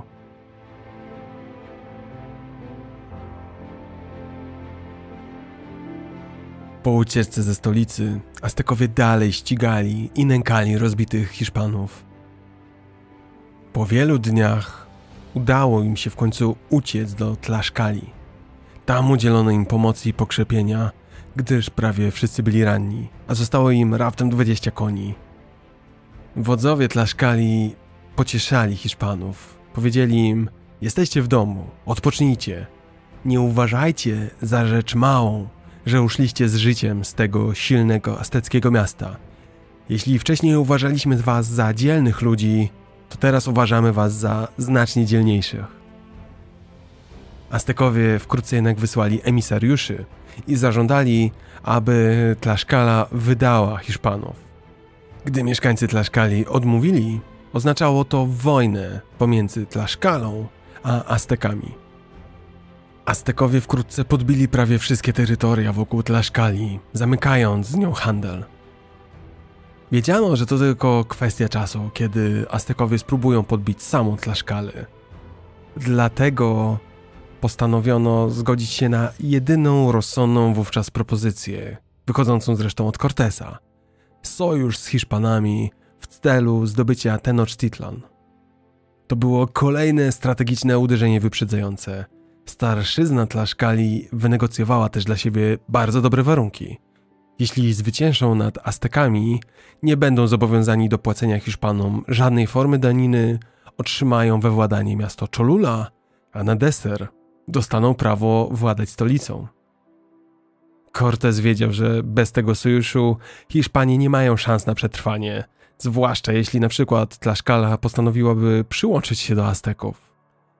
Dlatego zgodził się na ten sojusz w imieniu jego katolickiej mości Karola V. Niestety dla Tlaxcali Cortez wiedział, że nie dotrzyma słowa. Milczał jednak. Rozpoczęło się zatem leczenie ran i przygotowywanie do szturmu na stolicę, na Tenochtitlan. Cortés otrzymał posiłki, gdy statki z zaopatrzeniem przybyły z Kuby i Hiszpanii. Zbudował również 13 małych statków, brygantyn, i wyposażył je w armaty. I to właśnie w tym momencie na odsiecz Cortezowi przybyła również sama natura. Podczas gdy Cortez odbudowywał swoje siły i gromadził kolejne zapasy, epidemia ospy prawdziwej dotknęła wszystkich rdzennych mieszkańców Doliny Meksyku, w tym stolicę. Choroba została prawdopodobnie przeniesiona już w 1519 roku przez Hiszpanów. Ospa odegrała kluczową rolę w sukcesie Hiszpanów podczas oblężenia Tenochtitlan. Tam ospa zapanowała pod koniec października 1520 roku. Epidemia trwała 60 dni i zdziesiątkowała Azteków. Ospa prawdziwa to naprawdę ciężko przebiegająca wirusowa choroba o wysokiej śmiertelności i zakaźności. Jej typowym objawem jest charakterystyczna wysypka, gorączka oraz krosty, które pokrywają się strupami i pozostawiające trwałe, szpecące blizny. W kodeksie Florentino zapisano relacje z pierwszej ręki dotyczące katastrofalnych skutków epidemii wśród Azteków. Napisano: Wielu zmarło od tej zarazy, a wielu innych zmarło z głodu. Nie mogli bowiem wstawać i szukać jedzenia, byli bowiem zbyt chorzy, a inni byli zbyt chorzy, by się nimi opiekować, więc wszyscy umierali w głodu ze swoich łóżkach. Zanim rozpoznano skalę niebezpieczeństwa, zaraza była już na tyle silna, że nic nie mogło jej powstrzymać. Epidemia ospy faktycznie nie tylko dziesiątkowała tubylców, ale też osłabiła tych, którzy zdrowieli. Nie mieli oni już tyle sił, by uprawiać i zbierać plony, a to doprowadziło do masowego głodu i śmierci z niedożywienia. Ospa zabiła szacunkowo 40% rodzimej populacji w ciągu roku. Sami Aztekowie nazywali ją Huey Aizotl, czyli Wielka Wysypka. Quitlawak, ten, który zastąpił Montezumę, również zapadł na ospę i zmarł po 80 dniach sprawowania władzy. Choć choroba dotykała również siły hiszpańskie, to Hiszpanie byli w dużej mierze odporni na ospę. Była ona już wszak znana Europejczykom. Nic dziwnego zatem, że połączone z siły Tlaszkali i Corteza okazały się nie do pokonania. Jedno po drugim przejmowały większość miast pod kontrolą Azteków, niektóre w bitwie, niektóre dyplomacją. W końcu tylko Tenochtitlan pozostawał niezdobyty.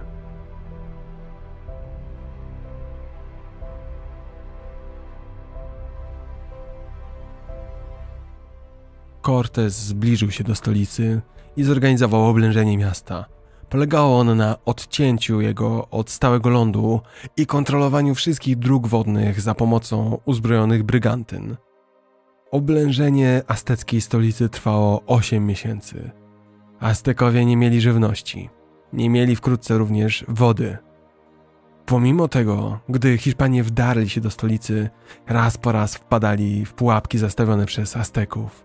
Walki uliczne były śmiertelnie niebezpieczne, a trup ścielił się gęsto. Hiszpanie jednak nie odpuszczali i parli do przodu.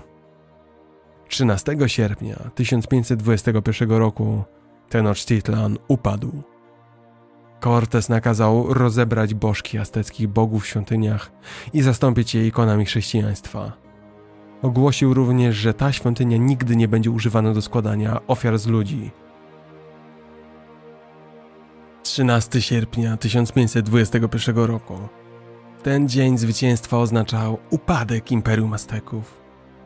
Cortez stał się absolutnym władcą ogromnego imperium, rozciągającego się od Morza Karaibskiego po Ocean Spokojny.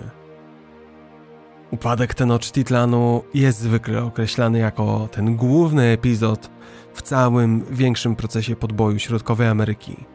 Ale ten proces był znacznie bardziej złożony i dotyczył znacznie większej części tego kontynentu.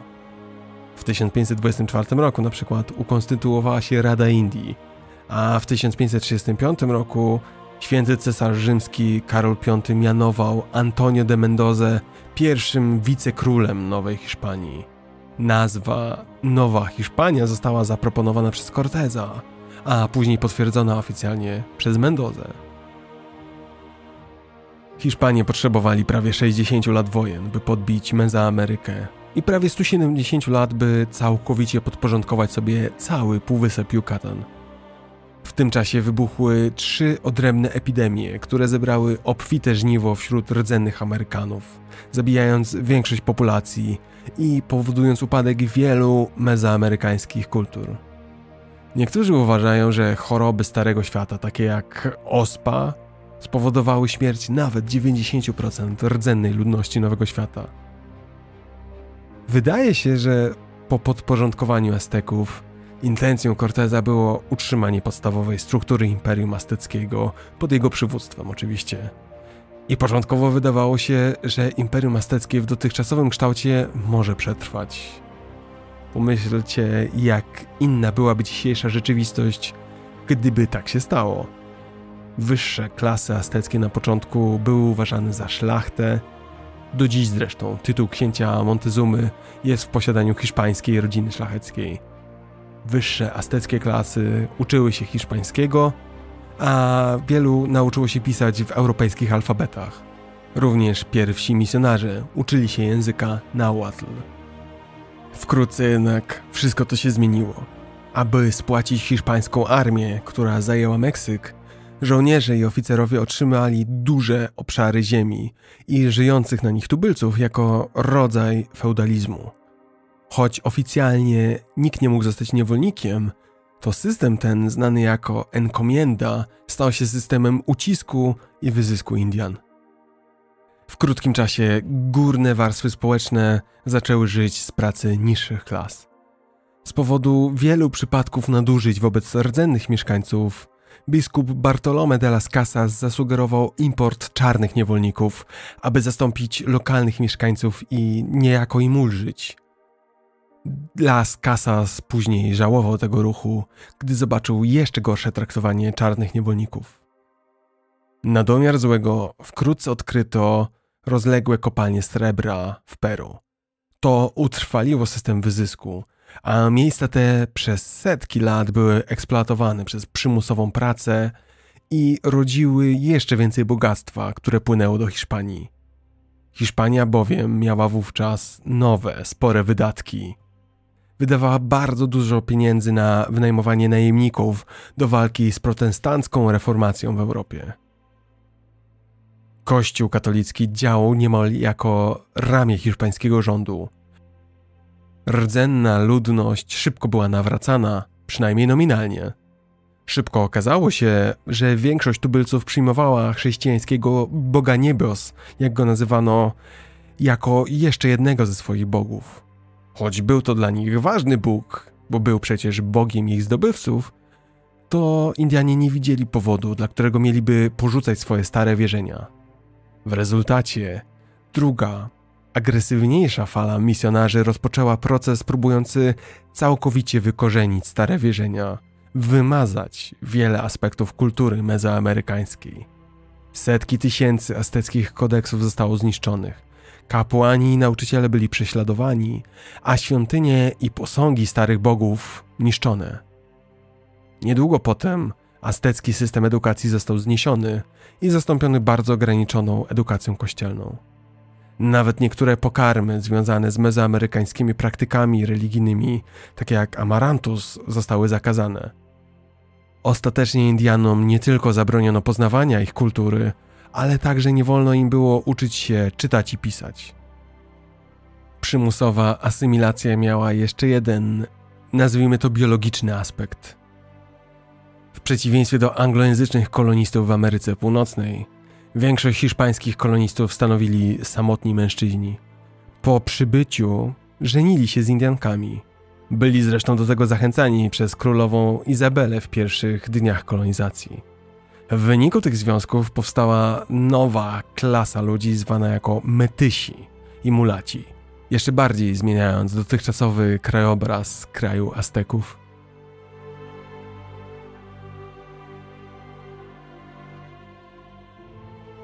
Jaki los spotkał zaś Corteza po jego podbojach?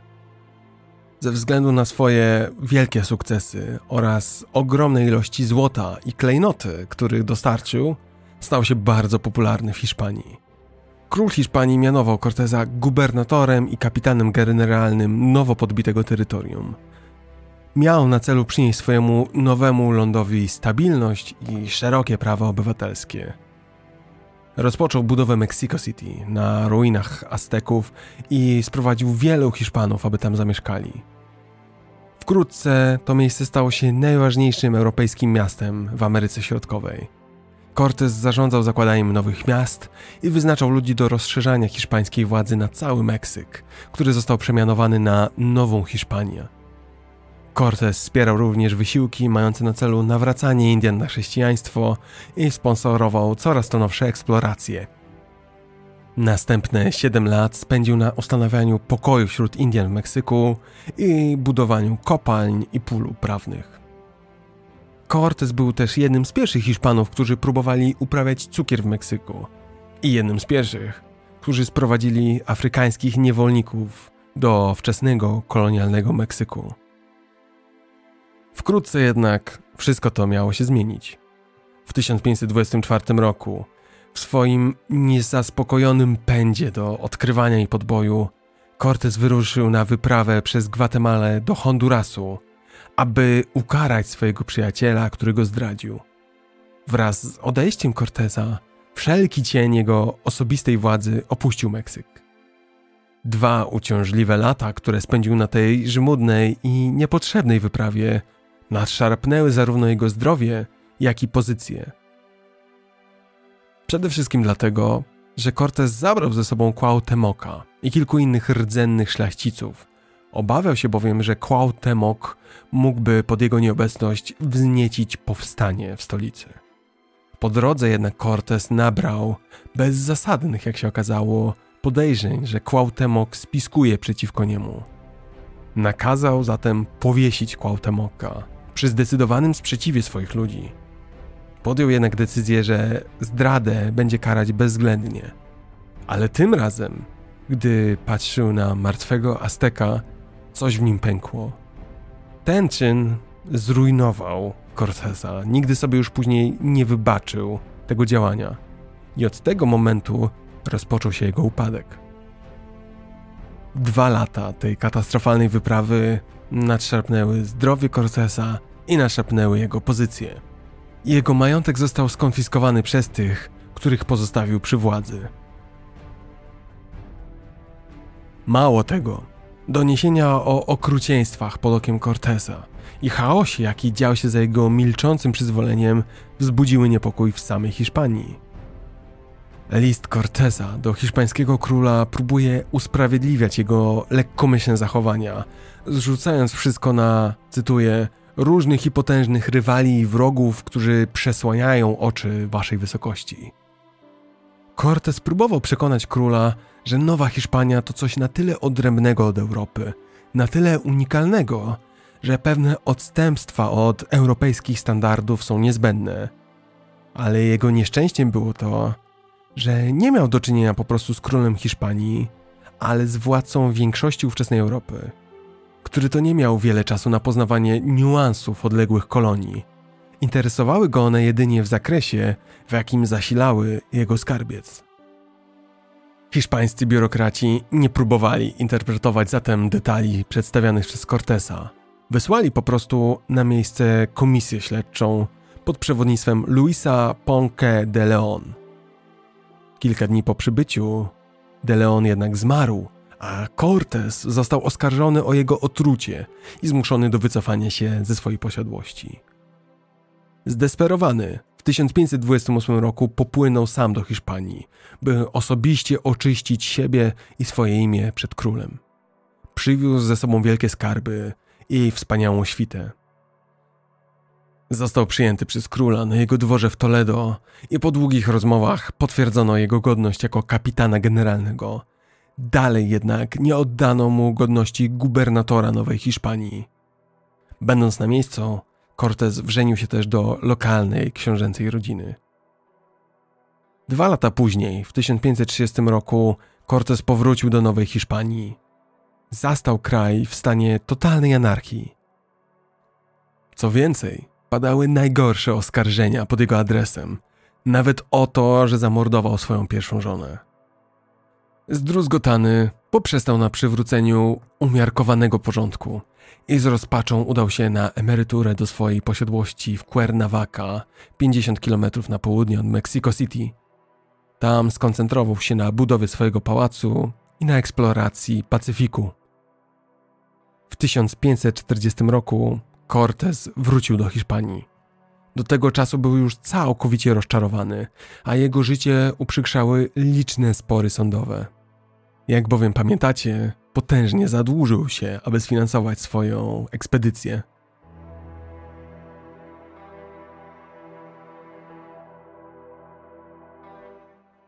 Cała reszta historii Hernana Corteza to antyteza tego, czym chciał być. Jak sam siebie określił, jestem stary, biedny i zadłużony. W lutym 1544 roku złożył wniosek do królewskiego skarbca o zgodę na powrót do Nowej Hiszpanii, ale przez następne trzy lata był zwodzony przez króla. W końcu pozwolono mu powrócić do Meksyku. Niestety, zmarł zanim jeszcze dotarł do Sewilli. Podobnie jak Kolumb, Cortés odszedł jako człowiek pogrążony w głębokiej goryczy.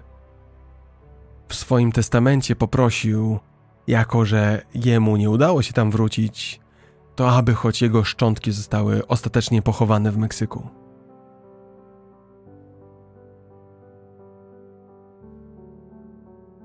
Niezwykle trudno jest scharakteryzować Hernana Corteza. W tej historii mamy wszystko: akty brutalności, sprawna świadomość taktyczna, strategia, dyplomacja i poznawanie nowych kultur. Cortez częściej próbował zdobywać pokojem, a nie bronią. Z definicji najpierw dążył do podboju za pomocą darów, a nie za pomocą terroru. Miał nadzieję zdobyć produktywną prowincję, a nie państwo niewolników. Jego rozkazy zawsze były jednoznaczne. Nikt nie miał drażnić czy też obrażać Indian. Kobiety i dzieci zawsze miały być oszczędzane. Grabież i gwałt były karane przez niego śmiercią. Można było brać tylko tę żywność, którą się samemu opłaciło. Mała armia Corteza, jakkolwiek dzielna, nigdy nie mogłaby zwyciężyć z setkami tysięcy wrogów. Polityka przyjaźni Corteza pozwoliła mu wykorzystywać wewnętrzne rozłamy Imperium Azteckiego do jego zniszczenia. Czyniąc to, stał się przyjacielem ogromnej większości Indian w Nowej Hiszpanii. Był ich obrońcą, był ich towarzyszem i dążył na co dzień do ich miłości i szacunku. Czy te przyjaźnie były szczere, czy też były strategią, taktyką, to jest jednak kwestia otwarta. Cortés miał nadzieję unikać błędów, które popełniano przy poprzednich hiszpańskich podbojach. Jego listy do króla pełne są ostrzeżeń i próśb. Domagał się, by do Nowej Hiszpanii wpuszczać tylko osadników, a nie poszukiwaczy przygód, którzy zamierzaliby skonsumować kraj, a potem go porzucić. Prosił o przysyłanie pokornych księży, którzy nawracaliby pobożnym przykładem, a nie wysokich prałatów, którzy rozporządzaliby darami kościoła i marnowaliby je w przepychu. Choć sam kształcił się w prawie, to prosił o zakazanie zawodu prawników, ponieważ w jego ocenie zachęcali do sporów, aby tylko czerpać zyski z powstałych procesów. Przede wszystkim zaś ubolewał nad praktyką odpłacania się za usługi na rzecz korony poprzez przydzielanie indyjskich niewolników do pracy przy ziemi. Nie miał jednak tak naprawdę innego sposobu nagradzania swoich zwolenników na miejscu. Tym wszystkim król nie był zainteresowany. Najwyraźniej uważał, że agresywne dążenie do nawracania tubylców, a tym samym zapewnienia im wiecznej nagrody w niebie, jest wystarczającą nagrodą dla Azteków i Indian, a zniewolenie uważał za niewielką cenę takiej przysługi. Nie przychylił się zatem do żadnej prośby Cortesa. Upadek Cortesa z królewskiej łaski był czarnym dniem dla Indian. Kiedy Cortez wrócił z Hondurasu po tym, jak e, wyprawił się na tę niepotrzebną i zbyteczną wyprawę, zastał swoje ziemie skonfiskowane, skarbiec splądrowany, a swój dom zajęty przez wrogów. Indianie witali go z radością, a jego koledzy Hiszpanie byli gotowi przyłączyć się do niego, by obalić wszelkich uzurpatorów. Prawdopodobnie, gdyby wówczas zdecydował się na bunt, miałby poparcie zarówno tubylców, jak i Hiszpanów. Zamiast tego Cortés potulnie popłynął do Hiszpanii, mając nadzieję na oczyszczenie swojego imienia. Udało mu się wówczas zachować urząd kapitana generalnego, ale odmówiono mu jakiegokolwiek głosu w administracji Nowych Ziem. Odtąd Cortés był zmuszony patrzeć, jak ludzie tacy jak Nuno de Guzman niszczą wszystko, co miał nadzieję zbudować.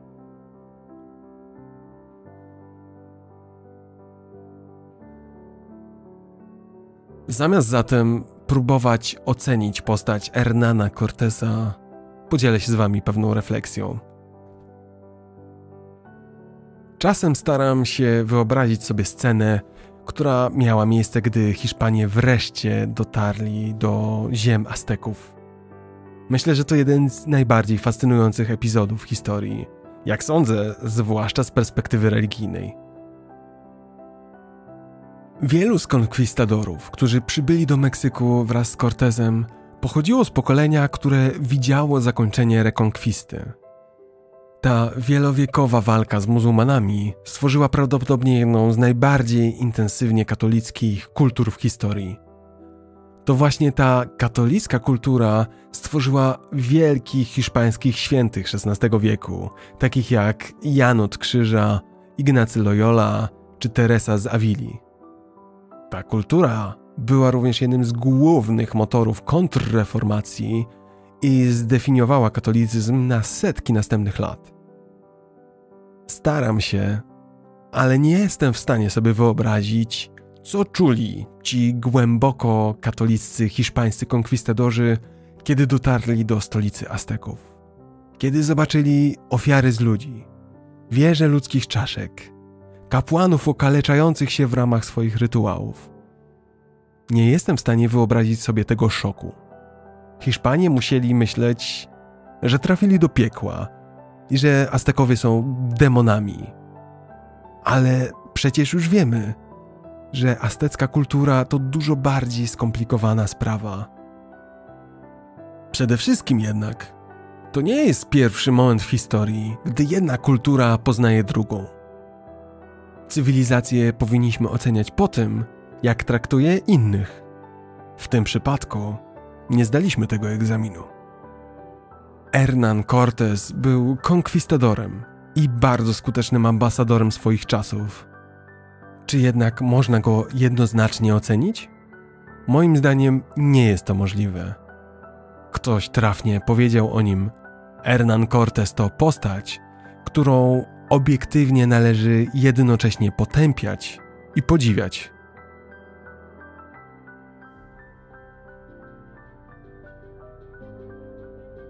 Moi drodzy, bardzo dziękuję za wysłuchanie tego odcinka. Jeśli czujecie, że chcecie stać się częścią podcastu historycznego, będę wdzięczny za nawet najdrobniejsze wsparcie. Link znajdziecie w opisie odcinka. Dziękuję z tego miejsca wszystkim wspierającym patronom, w tym anonimowym. Zostajecie wymienieni w opisie odcinka. Pamiętajcie, że jesteście wysokooktanowym paliwem, które napędza mnie. Jestem za to bardzo, bardzo wdzięczny. Będę wdzięczny za subskrybowanie kanału na YouTube, nawet jeśli słuchacie na Spotify czy innych platformach. Jeśli macie chwilę, zostawcie proszę recenzję na Apple Podcasts, czy też komentarz na YouTube. Najważniejsze jednak, Jeśli dobrze Wam się słuchało, podzielcie się tym podcastem ze znajomymi. Zapraszam też na moje kanały społecznościowe, na Instagrama i Twittera.